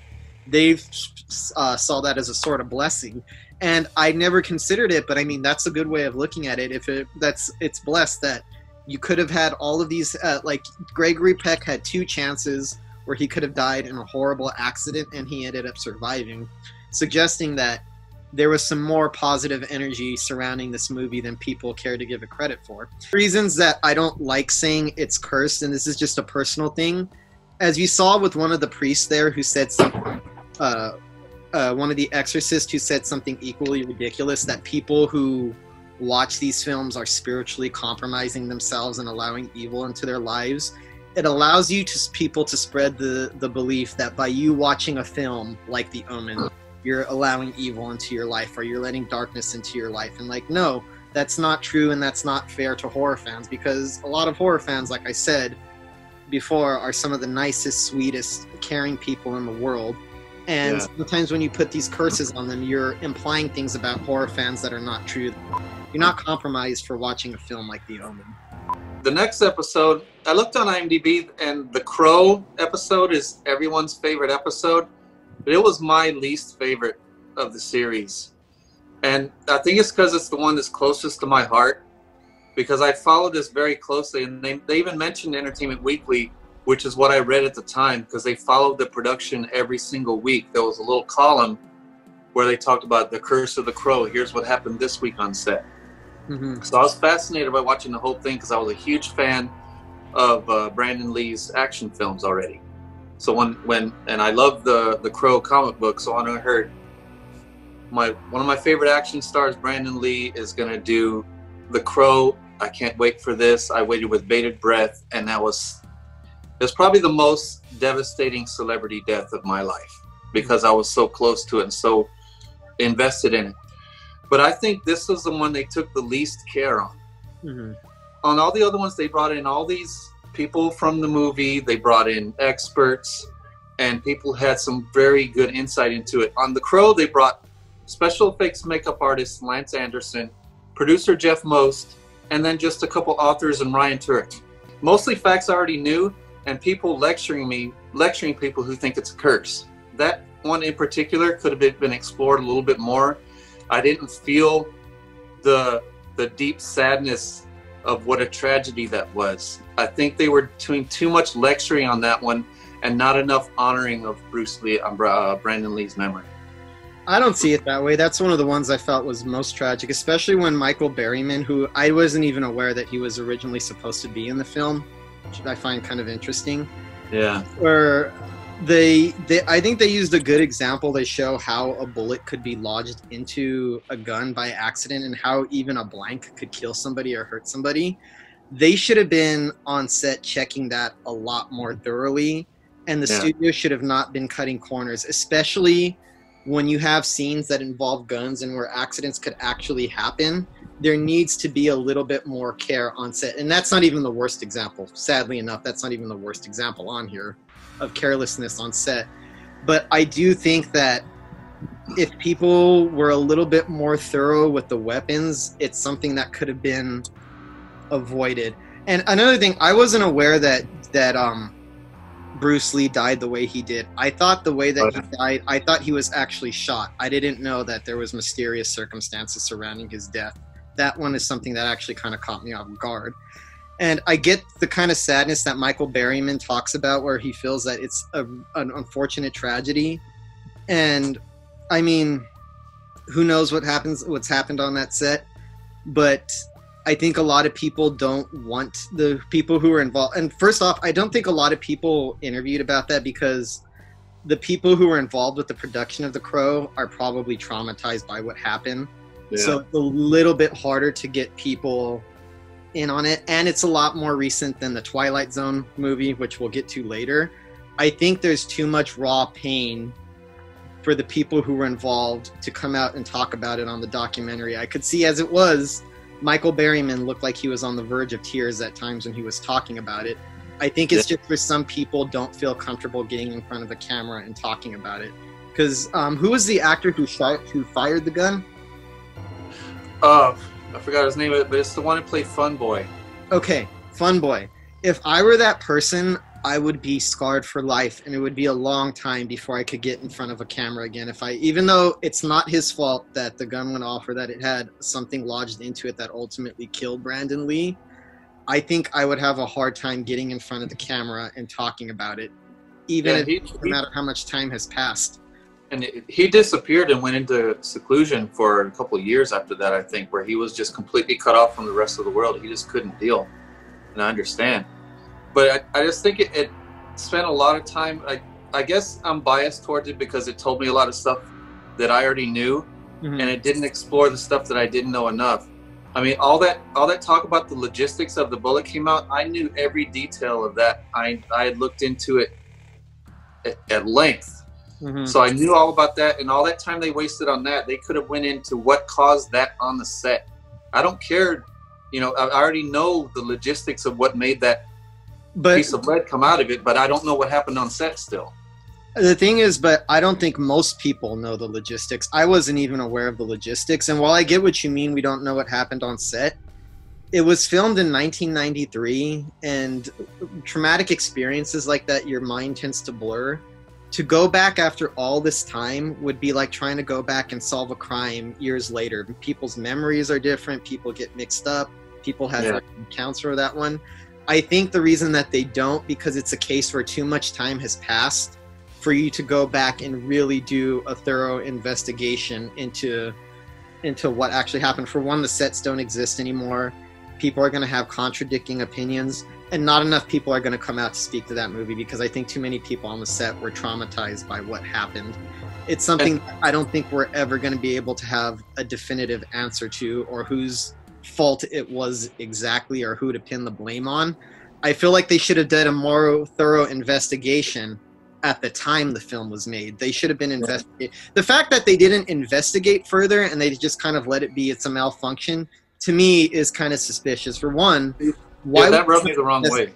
why would you not why would you not investigate that? But i don't know if that's the fault of the documentarians making this because they're making this years after. That should have been investigated a long time ago. In reality there should be a thorough re- police report by there should have been a thorough release re- police report by now that we could have discussed that could have been brought out on the film. So all we have left is to go back and talk about the logistics which i wasn't aware of so it was good information for me because i didn't follow I, I mean i was only three when the crow came out But even if they had, even if they had more of an investigation, if they had less investigation and more of the emotional impact of it, and and more of of uh, illustrating the of how tragic it was, and Michael Berryman was the highlight of the whole thing because he's the only one that I felt any true emotion from about this tragedy. Mhm. They didn't they didn't go into what a tragedy it was that Brandon Lee was about to get uh, married to his fiance, about how they were in close contact.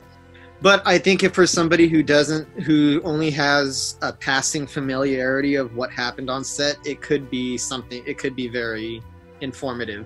That one just depends on your level of involvement with with it too. How much it, how much it means to you. I mean, I got the sense that it was tragic because I mean, when we found out that his that um he was going to be married soon after the film is a pretty sad fact. It has such a dedicated cult following that a lot of people follow it have followed it really closely and know know a lot of the details. Someone like myself doesn't really have that sort of information. So it was kind of inf- it was kind of informative to me personally.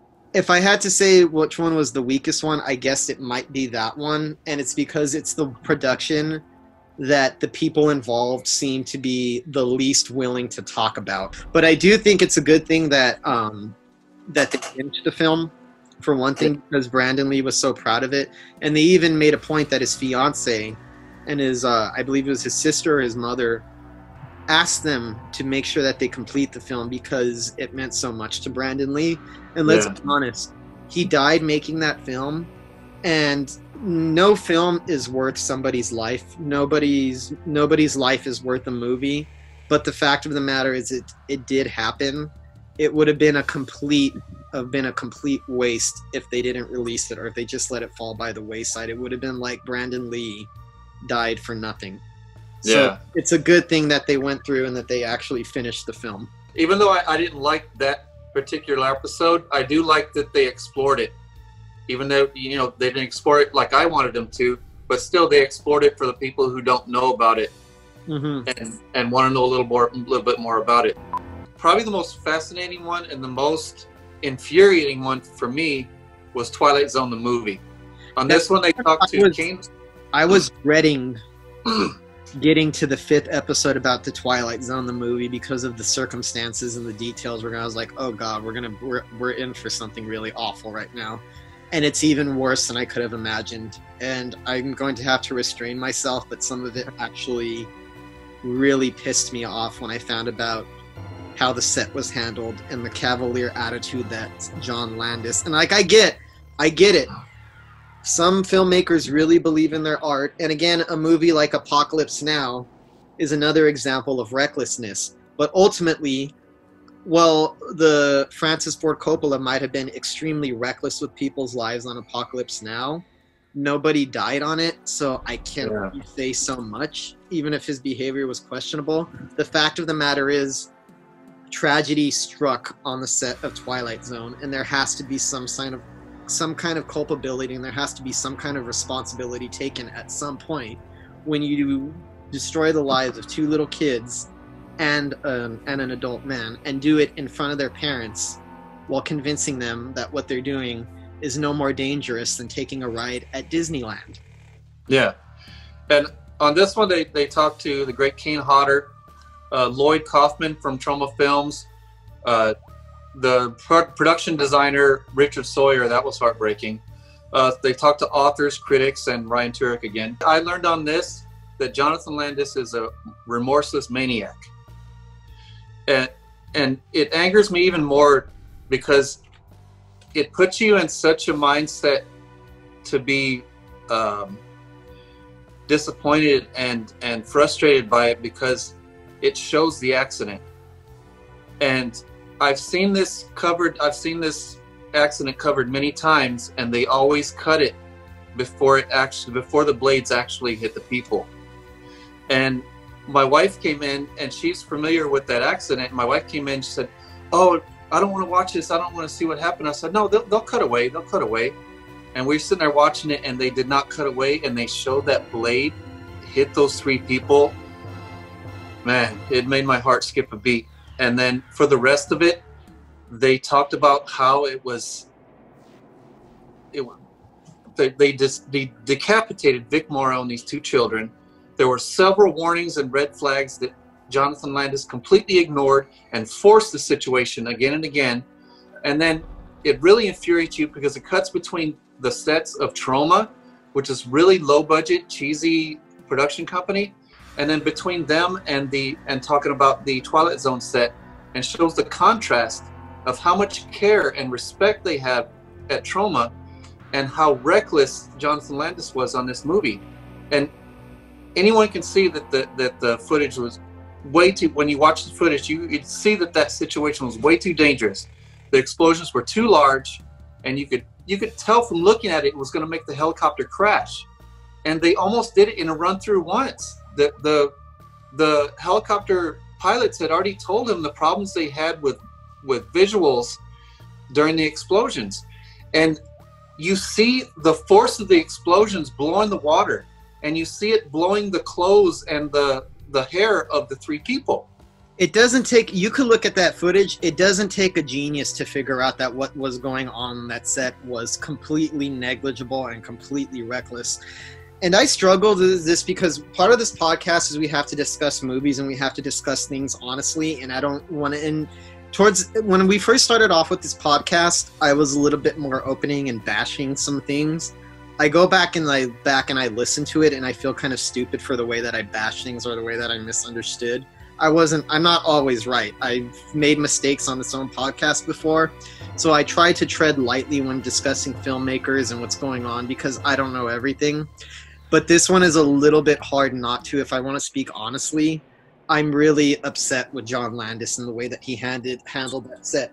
For one, they actually had real machine guns on the set firing off, and they had, there's a scene where Vic Morrow is supposed to be being shot at with machine guns, and I understand they pulled him away but they have a bunch of people still firing machine gun bullets off.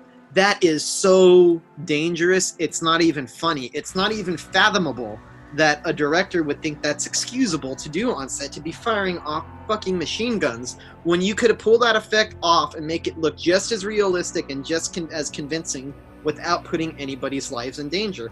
I myself, if some director told me that oh, we're gonna pull out you out of the way from real machine gun uh, bullet fire. Be like, you're out of your fucking mind. I am not going, even if you're pulling me out of the way. All it takes is a piece of shrapnel to fall in a different direction. So, and on top of that, those kids were there illegally.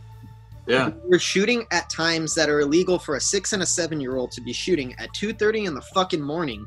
You're not supposed to be shooting like that. So he's already bending the rules. He's being arrogant about it and takes the whole thing fucking lightly and the fact that he doesn't talk about it that much this day is a bother to me. There has yeah. to be some kind of culpability here. There has to be somebody. You, when people die like that, you can't just pass the buck off and say, "Oh well, you know, things happen on a film set." I'm like, no, fuck no, that's not how this works. there were you put them in situations that could have been easily avoided and then to tell their parents that what they're doing is no more dangerous than going on a ride at disneyland what and Yeah. the fact that the parents were there and they saw their kids get chopped up by a blade in front of their face is inexcusable it's heartbreaking and then the production designer talking about the fact that they were sneaking real bombs onto the set and saying oh Yeah. no it's okay we're to push it in a different direction he said you better tell me right fucking now if there are any more traps or any more booby traps on this damn set. Otherwise, I'm shutting it down. It's just unfathomable to me that that went on and that it happened the way that it did. And like I said, I understand the idea of being an artist and pushing, you know, we got to go for realism, we got to do this. But you cannot push your artist, put your artistic ambitions above the lives of human beings especially when they're human beings who are there trying to help you realize your vision. You're taking advantage of them. it's it's one thing to have that attitude during during the movie. Okay, he was reckless, but maybe he had he, he was uh, singularly focused on on the movie and making it the best he can. Okay, but to still have that attitude after the the accident and still have that attitude years later, hell no. And the the thing that most bothered me is that when apparently he attended these funerals, and I'm sure that he was sad, but the speech struck me as tone deaf when he said at Vic Morrow's funeral, "It's very sad, but he's preserved on film, and film is immortal, and film will live forever." I'm like, that's a really empty platitude for people who are dealing with the loss of a loved one. Was a tragedy that could have been avoided telling me if I lost a, somebody who I cared very deeply about, but telling me because they're in some movies that it's okay. No, it's not fucking okay. I understand, yes, film is immortal and it's an awesome, it's almost a magical medium that we could shoot something and preserve it forever. That's awesome. Don't get me wrong, it is, but that is not a good excuse for why this man passed away or why those kids were killed. I just, it doesn't cut it for me. And I see. I, I think it's kind of a defense mechanism for Landis. I think that if he really accepted what he did on that set, it would be devastating to him, and he couldn't live with it. That's the only. That's the only thing I can think of. Maybe he is just blocking it out, and that's why he's so cavalier about it. Is he just blocking it out, not letting not letting himself feel the shame that he should feel for that happening. And you know, for all I know, he does feel it, and I hope somewhere that he does, but it doesn't really seem to be reflected. Maybe it's inward, and I'm not trying to call judgment, but this story is too extreme, and I can't give my honest opinions about this without being a little bit inflammatory towards John Landis. There's no Yeah. way around it. If I were to come on this podcast and try to neuter my opinion and tell you, oh, it wasn't that big, it was okay, I'd be lying to myself and I'd be lying to our audience.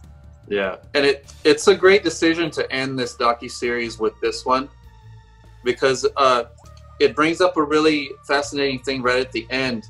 How yeah, these these films may or may not be cursed, but this one is the the people who are on the set are cursed because they have to live with what happened on that set. Everyone else seems tortured and still devastated by it, and they still seem to feel like it happened yesterday. It's a fascinating documentary series, and I would recommend it to anybody who's interested in history at all or any kind of history because it's fascinating. A movie like The Exorcist, to me, is a historical document. The way that people reacted to it at the time speaks volumes about the era that it was released in. The way that it was marketed as a dangerous film tells you everything you know have to know about societal attitudes in 1973 and the impact that it had on pop culture. So I think if you're just into like modern history, this is going to be a fascinating documentary. You don't need to be into horror movies or even be a particularly big film fan to get a lot out, out of this documentary series. The next one I'm going to talk about before we get to the movies is uh, the True Terror with Robert Englund. It's on the Travel Channel. Now this one is kind of a docu series as well, but it's a lot less production value than uh, than Cursed Films. It's a we reported on it on the podcast a while back. It's Robert Englund introduces the stories and he does some narration uh, of true stories throughout history, and most of them so far that I've seen have been 1800s, early 1900s. But it's all these real stories that are down in history that are really strange. So they kind of uh, Robert Englund starts out with the narration at the beginning to set up the story, I thought it was going to be complete. The stories were going to be completely narrated by him, but that's not the case. Now his his uh, narration is perfect, Robert Englund. I mean, that's what you watch that show for. He definitely delivers with the narration. With the he's campy and in a way only Robert Englund can be, but as it gets into re- the reenactment, the reenactments are very, very cheaply produced, and then other experts and newspaper accounts and commentary from historians start coming in, so they start kind of telling the story, and then uh, Robert Englund backs uh, caps it off. So to give you an idea, I'll go I'll go through the first uh, two episodes. This is what I've seen so far. Now I watched episode one. Now, if you watch episode one and you're not into it, give it another chance because it picks up a little bit in episode two. I don't know why they picked these stories for episode one because this is obviously you you got Robert Englund, which is an excellent narrator, and you have some good stories, but it really hinges on whether the you know it really depends on the story whether you're going to enjoy this series or not. Because the first one is about a north carolina storekeeper that is tormented by a countdown to his death where he has a nightmare where his dead friends uh, some dead friends tell him he's going to die in 60 days and then another one a teenager has smallpox and he's mistake- mistakenly pronounced dead and buried and then the third story was a police station in atlanta battles with a vengeful spirit where a murderer runs into the station saying he's being stalked by ghosts and people and of the people he killed. So it's decent stories, not very riveting, not very uh, profound, not that interesting, and then they were told in a cheap way. So that first episode, Robert Englund is really the only redeeming quality about it. I mean, there was a couple decent scenes and the stories were okay, but it just wasn't there's there's so much better documentaries out there and stuff like this. But episode two got a little better. Um, it started with two ranch hands battle an alligator-looking dragon, which is cheap sci-fi channel CGI, but still kind of scary and kind of well told. And the the actors weren't that bad. And then the second one was about a young Theodore Roosevelt that's told a story about a half-human Bigfoot type creature. That one was well told. The action was a little campy, but it's still well told and it was a fascinating story. And then the time uh, final one was demons attack a town in rural Pennsylvania, and a hunting party goes after them. But that one's the weakest out of those three, and it kind of fizzles out at the end. So it just just from the first two episodes, it seems like this series is going to be a hit or miss. But uh, I'm still hanging in there. One of the other films that I watched recently, I actually watched it almost a month ago. I'm just barely talking about it on the podcast right now. Is "Don't Torture a Duckling." the great Giallo film from Lucio Fulci. And as I mentioned a few weeks back, uh, periodically throughout this quarantine, I'll take the time to talk about the different Fulci films I've been binging. And I wanted to discuss this one next. This is a synopsis. A reporter and a promiscuous young woman try to solve a series of child killings in a remote southern Italian town rife with superstition and a distrust of outsiders. I was um really surprised by this one because it's not what I thought it was going to be. It is a giallo film. Don't get me wrong, but I feel like calling it a giallo um, undercuts a lot of what the movie is. I think there's a lot of social satire in this film and a lot of interesting social commentary weaved throughout. It revolves around a small rural town in Italy and the murders that are happening there. And the way that the town reacts to these murders speaks a lot for how they the way they think and the, the level of closed-mindedness right off the bat the first people that they suspect of being responsible for these killings are a young woman who's from the city so she dresses a little bit different than people from the town so she automatically gets judged a woman who claims to be a witch and other strange characters while holding certain forms of authority putting certain forms of authority on a pedestal so much that you fail to see what's in front of you in a way that obstructs getting true justice. The way that the that the townsfolk react to anybody that's different uh, speaks volumes for the way that the village actually operates. And it reminded me of um, Summer of Sam, the Spike Lee oh. film from 1999, because both of them illustrate how a certain level of paranoia mixed in with ignorance and superstitions could lead you to persecute people that don't deserve to be persecuted. And I'm thinking of the witch, who we find out is, and I don't think this is too much of a spoiler. She believes that she's responsible for the death for uh, for these deaths, but she's responsible in a way that doesn't really mean that she's actually responsible. She just believes that her curse actually worked. And we find out later in the movie that these deaths have nothing to do with the curse. It has to do with a very sick individual. And the fact that she's uh, stoned to death by a group of people think that they're doing the right thing shows how you cannot jump to conclusions and judge people based on the fact that they're a little bit different for you or they're not conforming to conforming to what you believe that people should behave like. The way that these people hold the church on a pedestal and the way that they can't even bother to look into the fact that maybe not everybody who you think is respectable is on the up and up is really powerful stuff and is really effective i thought it builds to a very good climax that's a, a little hard to predict. Uh, it really surprised me. I thought it's it's a beautifully filmed film. For one, the way that it makes the Italian countryside look, the rural countryside, look so beautiful and so appealing, but it reveals the ugliness underneath, the ugliness that comes with judgmental attitudes and people who can't see outside of their bubble. So yeah. I was surprised. I feel like this is a giallo film, yes, a murder and mystery, yes, but I felt like there was so much more to this film than a lot that I feel like goes over a lot of people's heads when they're uh, discussing "Don't Torture a Duckling." And before this, the other Fulci films that I had watched were like City of the Living Dead and The Beyond, and those are fantastic movies, but they're very stylist, I, stylistic. I didn't this level of um, commentary and emotion, and the way that the characters relate to each other and the way that they play off caught me really off guard, and it ended up being a much richer film than I think it gets credit for being. So I was really pleasantly surprised by this movie. I liked it a lot. I thought the cast was really good. I thought all the performances were very believable. The murder mystery was good. The gore was good. It's not as extreme as in some of Lucio Fulci's later films, but there is some inventive stuff. Particularly the stoning of the witch is extremely brutal and was really heartless. And what makes that scene interesting, it's one of the most brutal scenes in the movie. And the horror is coming not from the killer, not from the person who's responsible for the murders, it's coming from regular people who are too judgmental and can't see how uh, their superstitions is, are clouding their judgment.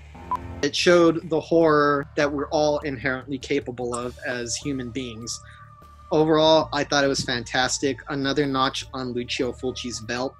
Really impressed with this one. I like how Fulci can take uh, gore and exploitation and add so many layers to it, and it's just so fascinating. I don't even think it feels like an exploitation film. I know it gets classified as such, but the movie has a lot more on its mind than just exploitation. Yeah, it has the the violence and the gore that you would expect from Fulci, the titillating elements, the murder mystery that you'd expect out of a giallo, but there's so much more to it than that. Because of that, I thought this was one of the most satisfying giallo mysteries that I'd ever seen. And the answer to the mystery makes you go back and it makes the audience have to, once they find out who the actual killer is, they have to go back on the film and analyze the preconceived notions that they might have formed while watching the movie. Yeah. And I thought it was just a really great balancing act for uh, Fulci to put this much level of thought and commentary into what could have easily have been just another high quality giallo exploitation thriller. Fulci's always going to take you on a ride that, and that's with multiple layers, but it's going to be titillating along the way no matter what. the one that I'm going to talk about is so far removed from Fulci, it's crazy. But it's still, I think it's still going for the same thing that Fulci does, but it just fell flat in every way. Intruder from 1989. The co-writer and director is Scott Spiegel, and if anybody's uh, familiar with the Evil Dead universe, he worked with uh, Sam Raimi and Bruce Campbell on all their early shorts, and he was also Scotty in Within the Woods, the short that was uh, that inspired Evil Dead and he was a fake Shemp in both Evil Dead 1 and 2. He wrote Evil Dead 2 with Sam Raimi, and he produced the Hostel movies. As a director, he just did stuff like Hostel 3, uh, From Dusk Till Dawn 2. But uh, uh, this was uh, the executive producer on this one was Charles Band, and the writer Lawrence Bender. This is his only writing credit, which I see why after watching the movie. Really quick, for those people don't know, Lawrence Bender produced Tarantino's early films like Reservoir Dogs and Pulp Fiction. Yeah. And was the yuppie in Pulp Fiction when Tim Roth is robbing the diner. He says, You fucking yuppie, get down! With the guy with long hair. That's Lawrence Bender. He pretty much did all Tarantino's movies up to Inglourious Basterds, right? That was the last one Yeah. he did. I don't think he's been producing his films uh, as of lately. So this is the only film he wrote, and I see why he didn't write another one. I don't want to talk shit, but he had a pretty decent cast. Elizabeth Cox from Night of the Creeps and the Ra- the Wraith. Uh, Renee Estevez, the daughter of Martin Sheen, she was really good in it. Uh, Dan Hicks from Evil Dead 2, the old man, the, the husband from Evil Dead 2. Sam Raimi, Ted Raimi, and Bruce Campbell were in it. All of them had small parts. Sam, Sam and Ted had both had uh, bigger parts than Bruce Campbell. Bruce Campbell was just tacked on at the end. But it's about an overnight crew in a small supermarket are stalked by a mysterious maniac. At a $130,000 budget, and you can see every bit of it. You can see that it's $130,000. But what I couldn't believe, the makeup is done by Howard Berger, Robert Kurtzman, and Greg Nicotero from KNB. This was after they did Evil Dead 2, Creepshow 2, Phantasm 2, and Monkey Shines, and you could not tell. Straight up shitty effects on this one too. Not even like it wasn't even like low budget effects done in an inventive way. They weren't inventive at all. So I looked into it, and it's because this one was early in their career, and they did do, you know, Evil Dead 2 and Creepshow 2, Phantasm 2, and Monkey Shines. Those were three million dollar budgets or over. Like uh, the Mon- Monkey Shines, the George Romero film, was a seven million dollar budget. So I can kind of see why their effects look out of character for them. There's something that kind of helped it, but ended up hindering it by the end. There was a lot of creative shots. You can tell that this Scott Spiegel was ambitious and he wanted to make a good movie, but he just overshot it. You know, like uh, they did a shot from inside a shopping cart, and then a couple minutes later, there's a shot from inside the grocery scanner and then there's another shot where the camera is somehow mounted on the doorknob and it turns with the doorknob and then a shot through a, a, an, an entire kill filmed through a wine bottle So it sounds like over the stop, over the top stylistic flourishes. yeah I haven't, I haven't seen this movie, but could it be because of the involvement of Sam Raimi and Ted Raimi and Bruce Campbell? Because uh, what a lot of people note about the Evil Dead films is the wildly inventive cinematography, the way that uh, the camera takes on the view of a demon and chases through the woods, and it has that kind of rickety feel. The the Evil Dead films are bursting with this creative, endlessly inventive camera work, and I'd imagine having these people on set would make you feel like you need to live up to that if you're gonna. yeah and, and yeah you see shades of that but it just comes it just comes off ultimately comes off as amateur it reminds me of a of Fulci film as far as its attempt it attempted being kind of a Fulci film because it, it starts to tell a decent story about this uh, this girl having an abusive boyfriend and he comes and tries to pull her away from the grocery store and uh, and then her employees come to help her. And then all of a sudden it becomes a small business drama where they're going to sell the store and the employees are going to be out of a job. What are we going to do now? And that kind of that kind of uh, it's weaved throughout the rest of the story but it gets really dumb the more it goes along. It's a slasher. It was made in 89 but it plays out more like a 70s slasher but a bad 70s slasher where it tries to tell a story it tries to have layers but it just comes off as campy. It takes itself way too seriously and then it doesn't. You know what i mean? Mm-hmm. Like we're telling a serious story. Oh no we're just going to take these liberties and just have these ridiculous things happen. They didn't commit enough to the drama or the story and they didn't commit enough to the campy craziness of it it's challenging for me to talk about movies like this because i'm talking about how bad it is but there's a lot of bad movies that we watch that we really like. But it's, so it's hard to explain why this one is so bad that it's bad instead of being so bad that it's good. The final one we're going to discuss this is something we've never done before. It's kind of unprecedented that we do this. We're going to review a movie that we already reviewed earlier uh, last year it's Pet Sematary 2019 directed by Kevin Kölsch and Dennis Widmyer james and i both went on and on about how we did not like this movie it did not connect with us It didn't touch the original. It didn't touch the Stephen King story. It was just a bad adaptation. I, But our- quick, I saw almost around. I logged all the movies I've seen, almost like hundred movies in 2019, and I rank every movie I've seen in order from the best one I've seen to the least. That one was pretty low down on the list. It was for me one of the worst movies I'd seen that year. So Yeah. for us It- to have the kind of switch around we're going to have right now is pretty fascinating.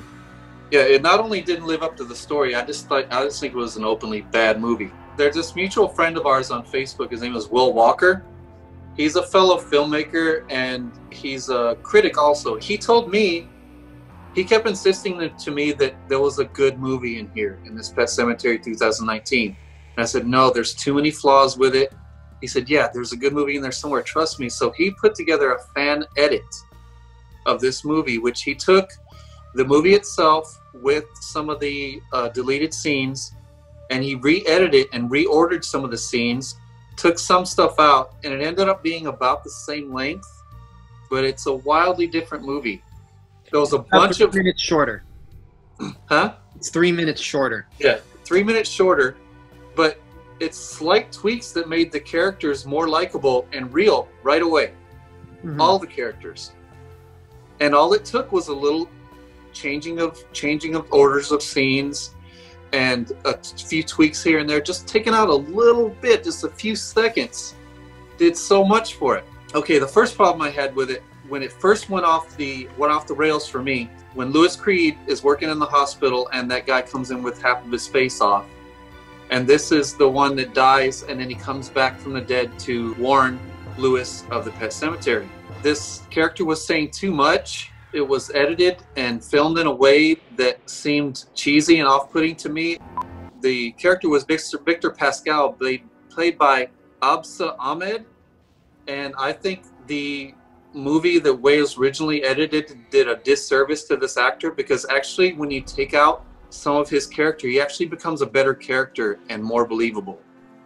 So he took out just enough of this character's lines to make him scarier and feel like more of a part of the movie instead of being forced in there just because it's in the story. That's what it felt like to me in the original. He pushed some scenes together, which made the Judd and the Ellie relationship more touching. He added bonding moments between Judd Crandall and uh, Louis Creed. That was another problem with the with the original, where not the original, the original uh, remake or retelling. theatrical cut of Pet Sematary. Yeah, and I thought that that the relationship between Judd and Louis kind of appeared out of nowhere, and they were all of a sudden friends after you'd only seen him, you'd only seen Judd talk with Ellie, and then all of a sudden he has this bond with the with uh, Louis. So what this guy Will Walker did was change the order of some of the scenes. He had uh, a bonding moment of Judd Judd and Louis right between right after he came over to dinner to strengthen their bond. So that strengthened their bond there, and that fixed a lot of that relationship that I thought was flawed.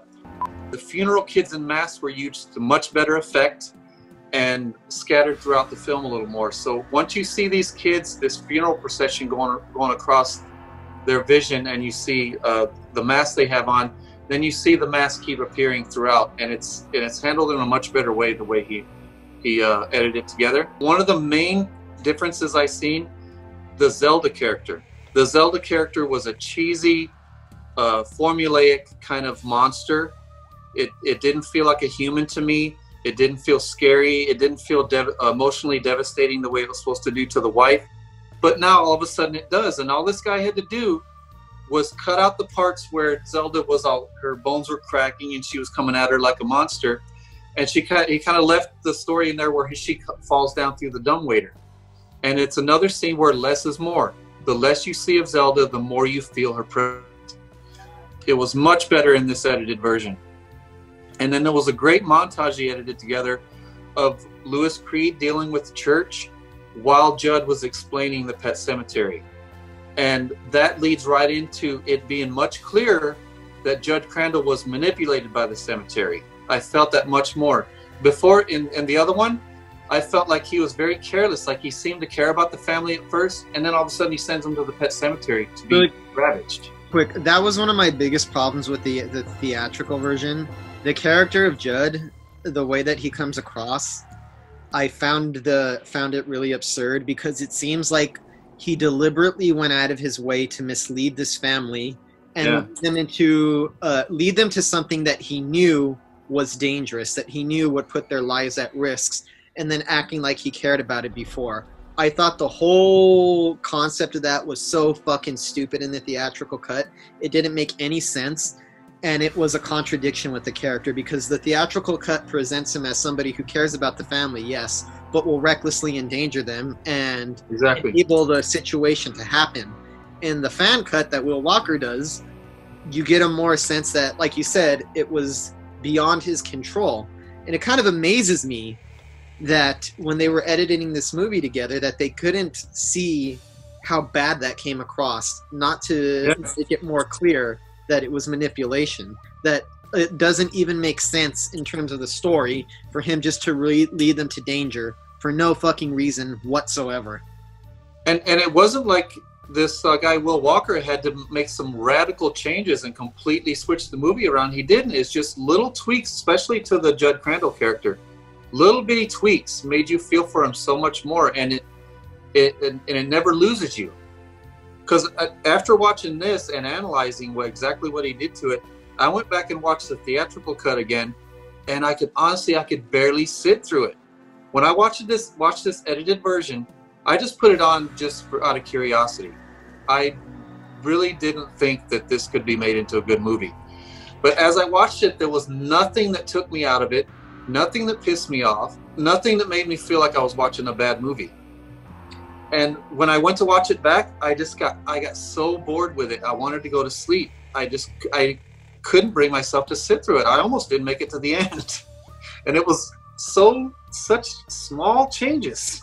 What I think this speaks for is how important editors are in the filmmaking process. It's really the invisible art that a lot of people don't notice. I feel like a lot of editors, people think that's not important. People don't get it. Having a good editor and a bad editor can make all the world of difference in your film. Because anytime you shoot a movie, what you have when you shoot a movie is a giant blob of footage and it's a, like it's like a diamond you have to polish it you have to refine it you have to craft it until you shape it into something cohesive and coherent so most movies have potential to be good it's just a matter of shaping it in the right way and will walker's tiny tweaks shaped this into a more cohesive film. He shaped it into a more involving film. It took out the little things that made the movie stupid and replaced it with something a lot more intelligent. And it shows that some of the deleted scenes should have been left in and some of the scenes that were Yeah. in the theatrical cut should have never have made it. So it's not even I- i was i have to say i was wrong by putting this on the filmmakers because the filmmakers shot good footage and they had a lot of potential. It just wasn't edited in the proper fa- uh, in the fashion that was going to maximize all of the footage they shot. Will walker saw the potential in the footage and found a way to maximize its potential. So hats off to you will. Yeah. you did a, a really impressive job and turned a movie I really hated into a good movie. Not a perfect one. It's still not like a big fan of it, but it made it watchable. And at the very least, now I could see what the filmmakers were going for in the first place. it's still not as good or effective or as scary as Mary Lambert's Pet Sematary. And the scenes that they completely screwed up, like this, one of the main scenes that I really took issue with is the fake out. Gage is supposed to be killed in the street by a truck. Ellie is killed instead. But they do so much fake out in the editing. That, Ooh, it's going to be Gage. It's going to be Gage. Oh, guess what? It's Ellie. That was so lame. And the way he, the way Will Walker did it right here is so much better. There's no lame fake out. It still doesn't. You still don't feel that this couple's kid was killed. Like in the first in Mary Lambert's Pet Sematary, I could feel that. I'm a father, and I was I'm devastated every time I watch that scene. You feel like that couple's child just got ran over. Mhm. On this one, you don't feel that, but it's still so much better than than what it was in the original theatrical cut. When Ellie comes back from the dead, that was always the best part for me, and uh, so that part got a little more attention in this cut of it. It's clear that the mom knows something is wrong and tries to get back to Louis. You could you could feel the mom's desperation more. You could feel she was trying to get back to her husband. You could feel that she knew that something was wrong, and it was much uh, much more clear. The fight with Ellie was more effective. It felt more disturbing. It felt like uh, They were like almost invisible tweaks. yeah, You can't put your finger on it, but you could tell something was lopped off somewhere. The something was slightly reordered, or something yeah. something was moved around. And it shows me that when you're watching a movie and you're going along and something just kind of off and kind of pisses you off, it kind of taints the scenes after it. hmm So with that scene gone, you don't look as harshly at the following scene. You know what I mean? Mhm. You can feel it a little bit more because you weren't just distracted by bullshit. The ending was the best part for me. I mean, it, it did rub a lot of people the wrong way. It was the only thing that it was uh, ventured wildly away from the original story. But I thought it was it showed imagination, but it still left you with a weird feeling. The ending was much better on this edit. Will made it better and less hokey because even though I liked the ending of the other one, it still felt a little hokey at the end compared to the rest of it because the rest of it really tried to take itself overly serious. And then it had a it had a similar ending, but it wasn't as ham-handed. And he did something bold with he completely cut out Judd Crandall's death hmm and it worked because that was another fake out that pissed me off. Oh, it's it was it's like the filmmakers were saying, "Oh, remember when Judd Crandall's ankle got cut in the the first adaptation?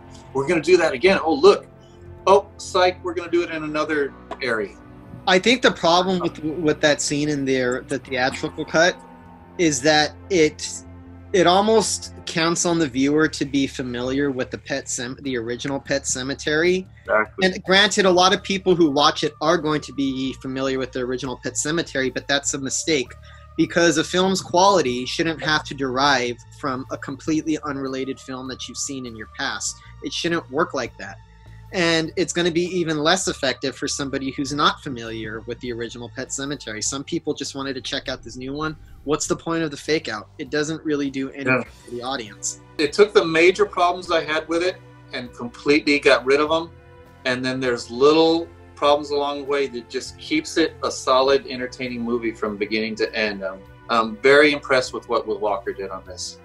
Yes, so was I. Surprised you turned a movie that I hated into something manageable and watchable and even kind of good. We're filmmakers and editors, and we couldn't see a good movie in there, but this guy did. you remember when we were when we first started editing?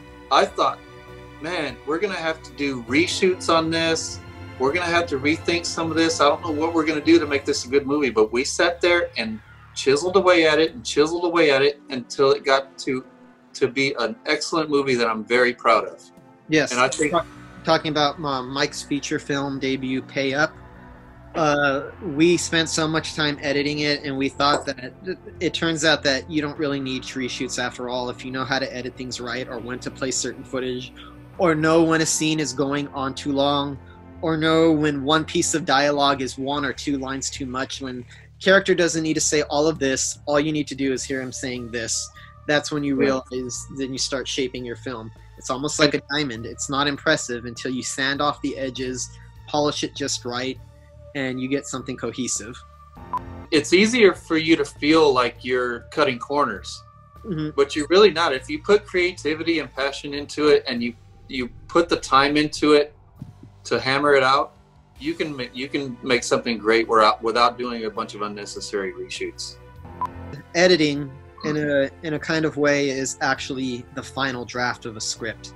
It's like taking a script and refining the script after the script is already done, is already shot. Yeah, and what they this what they say all the time in editing: don't be afraid to kill your babies. Yes. Which means all these scenes and and you know these scenes and these lines that you really are in love with and you want in there. Think about the good of the movie instead of that single line. Because take it out, you can make the movie better no matter how much you love that line or that scene. because there's a lot of goods and a lot of filmmakers kind of fall in love with their work which is understandable but there's a lot of scenes in films that maybe as a scene onto itself, it's cool and it's impressive, but when it jibes, sometimes it gets in the way with the narrative. Sometimes it slows things down, or sometimes it makes things more choppy. When you're in there editing your own your own films, my only advice to people is, if you really think it doesn't work, and you still think the scene is cool, take it out. I don't care how cool it is. You could always you could always put it back in later if you think it if it needed after all you could always what deleted scenes are for so you could see what what happened but most of the time you're never going to end up using all of the footage you shot it's not feasible Exactly, and, and you're going to have to lose some things you like in order to serve the whole. It's Yep. something to accept, yes and it's it's something that Will Walker obviously gets because he nailed it on this movie that we didn't think there was a good movie in there, but he pulled it out. So good for you, Will Walker. till next week happy Happy horror.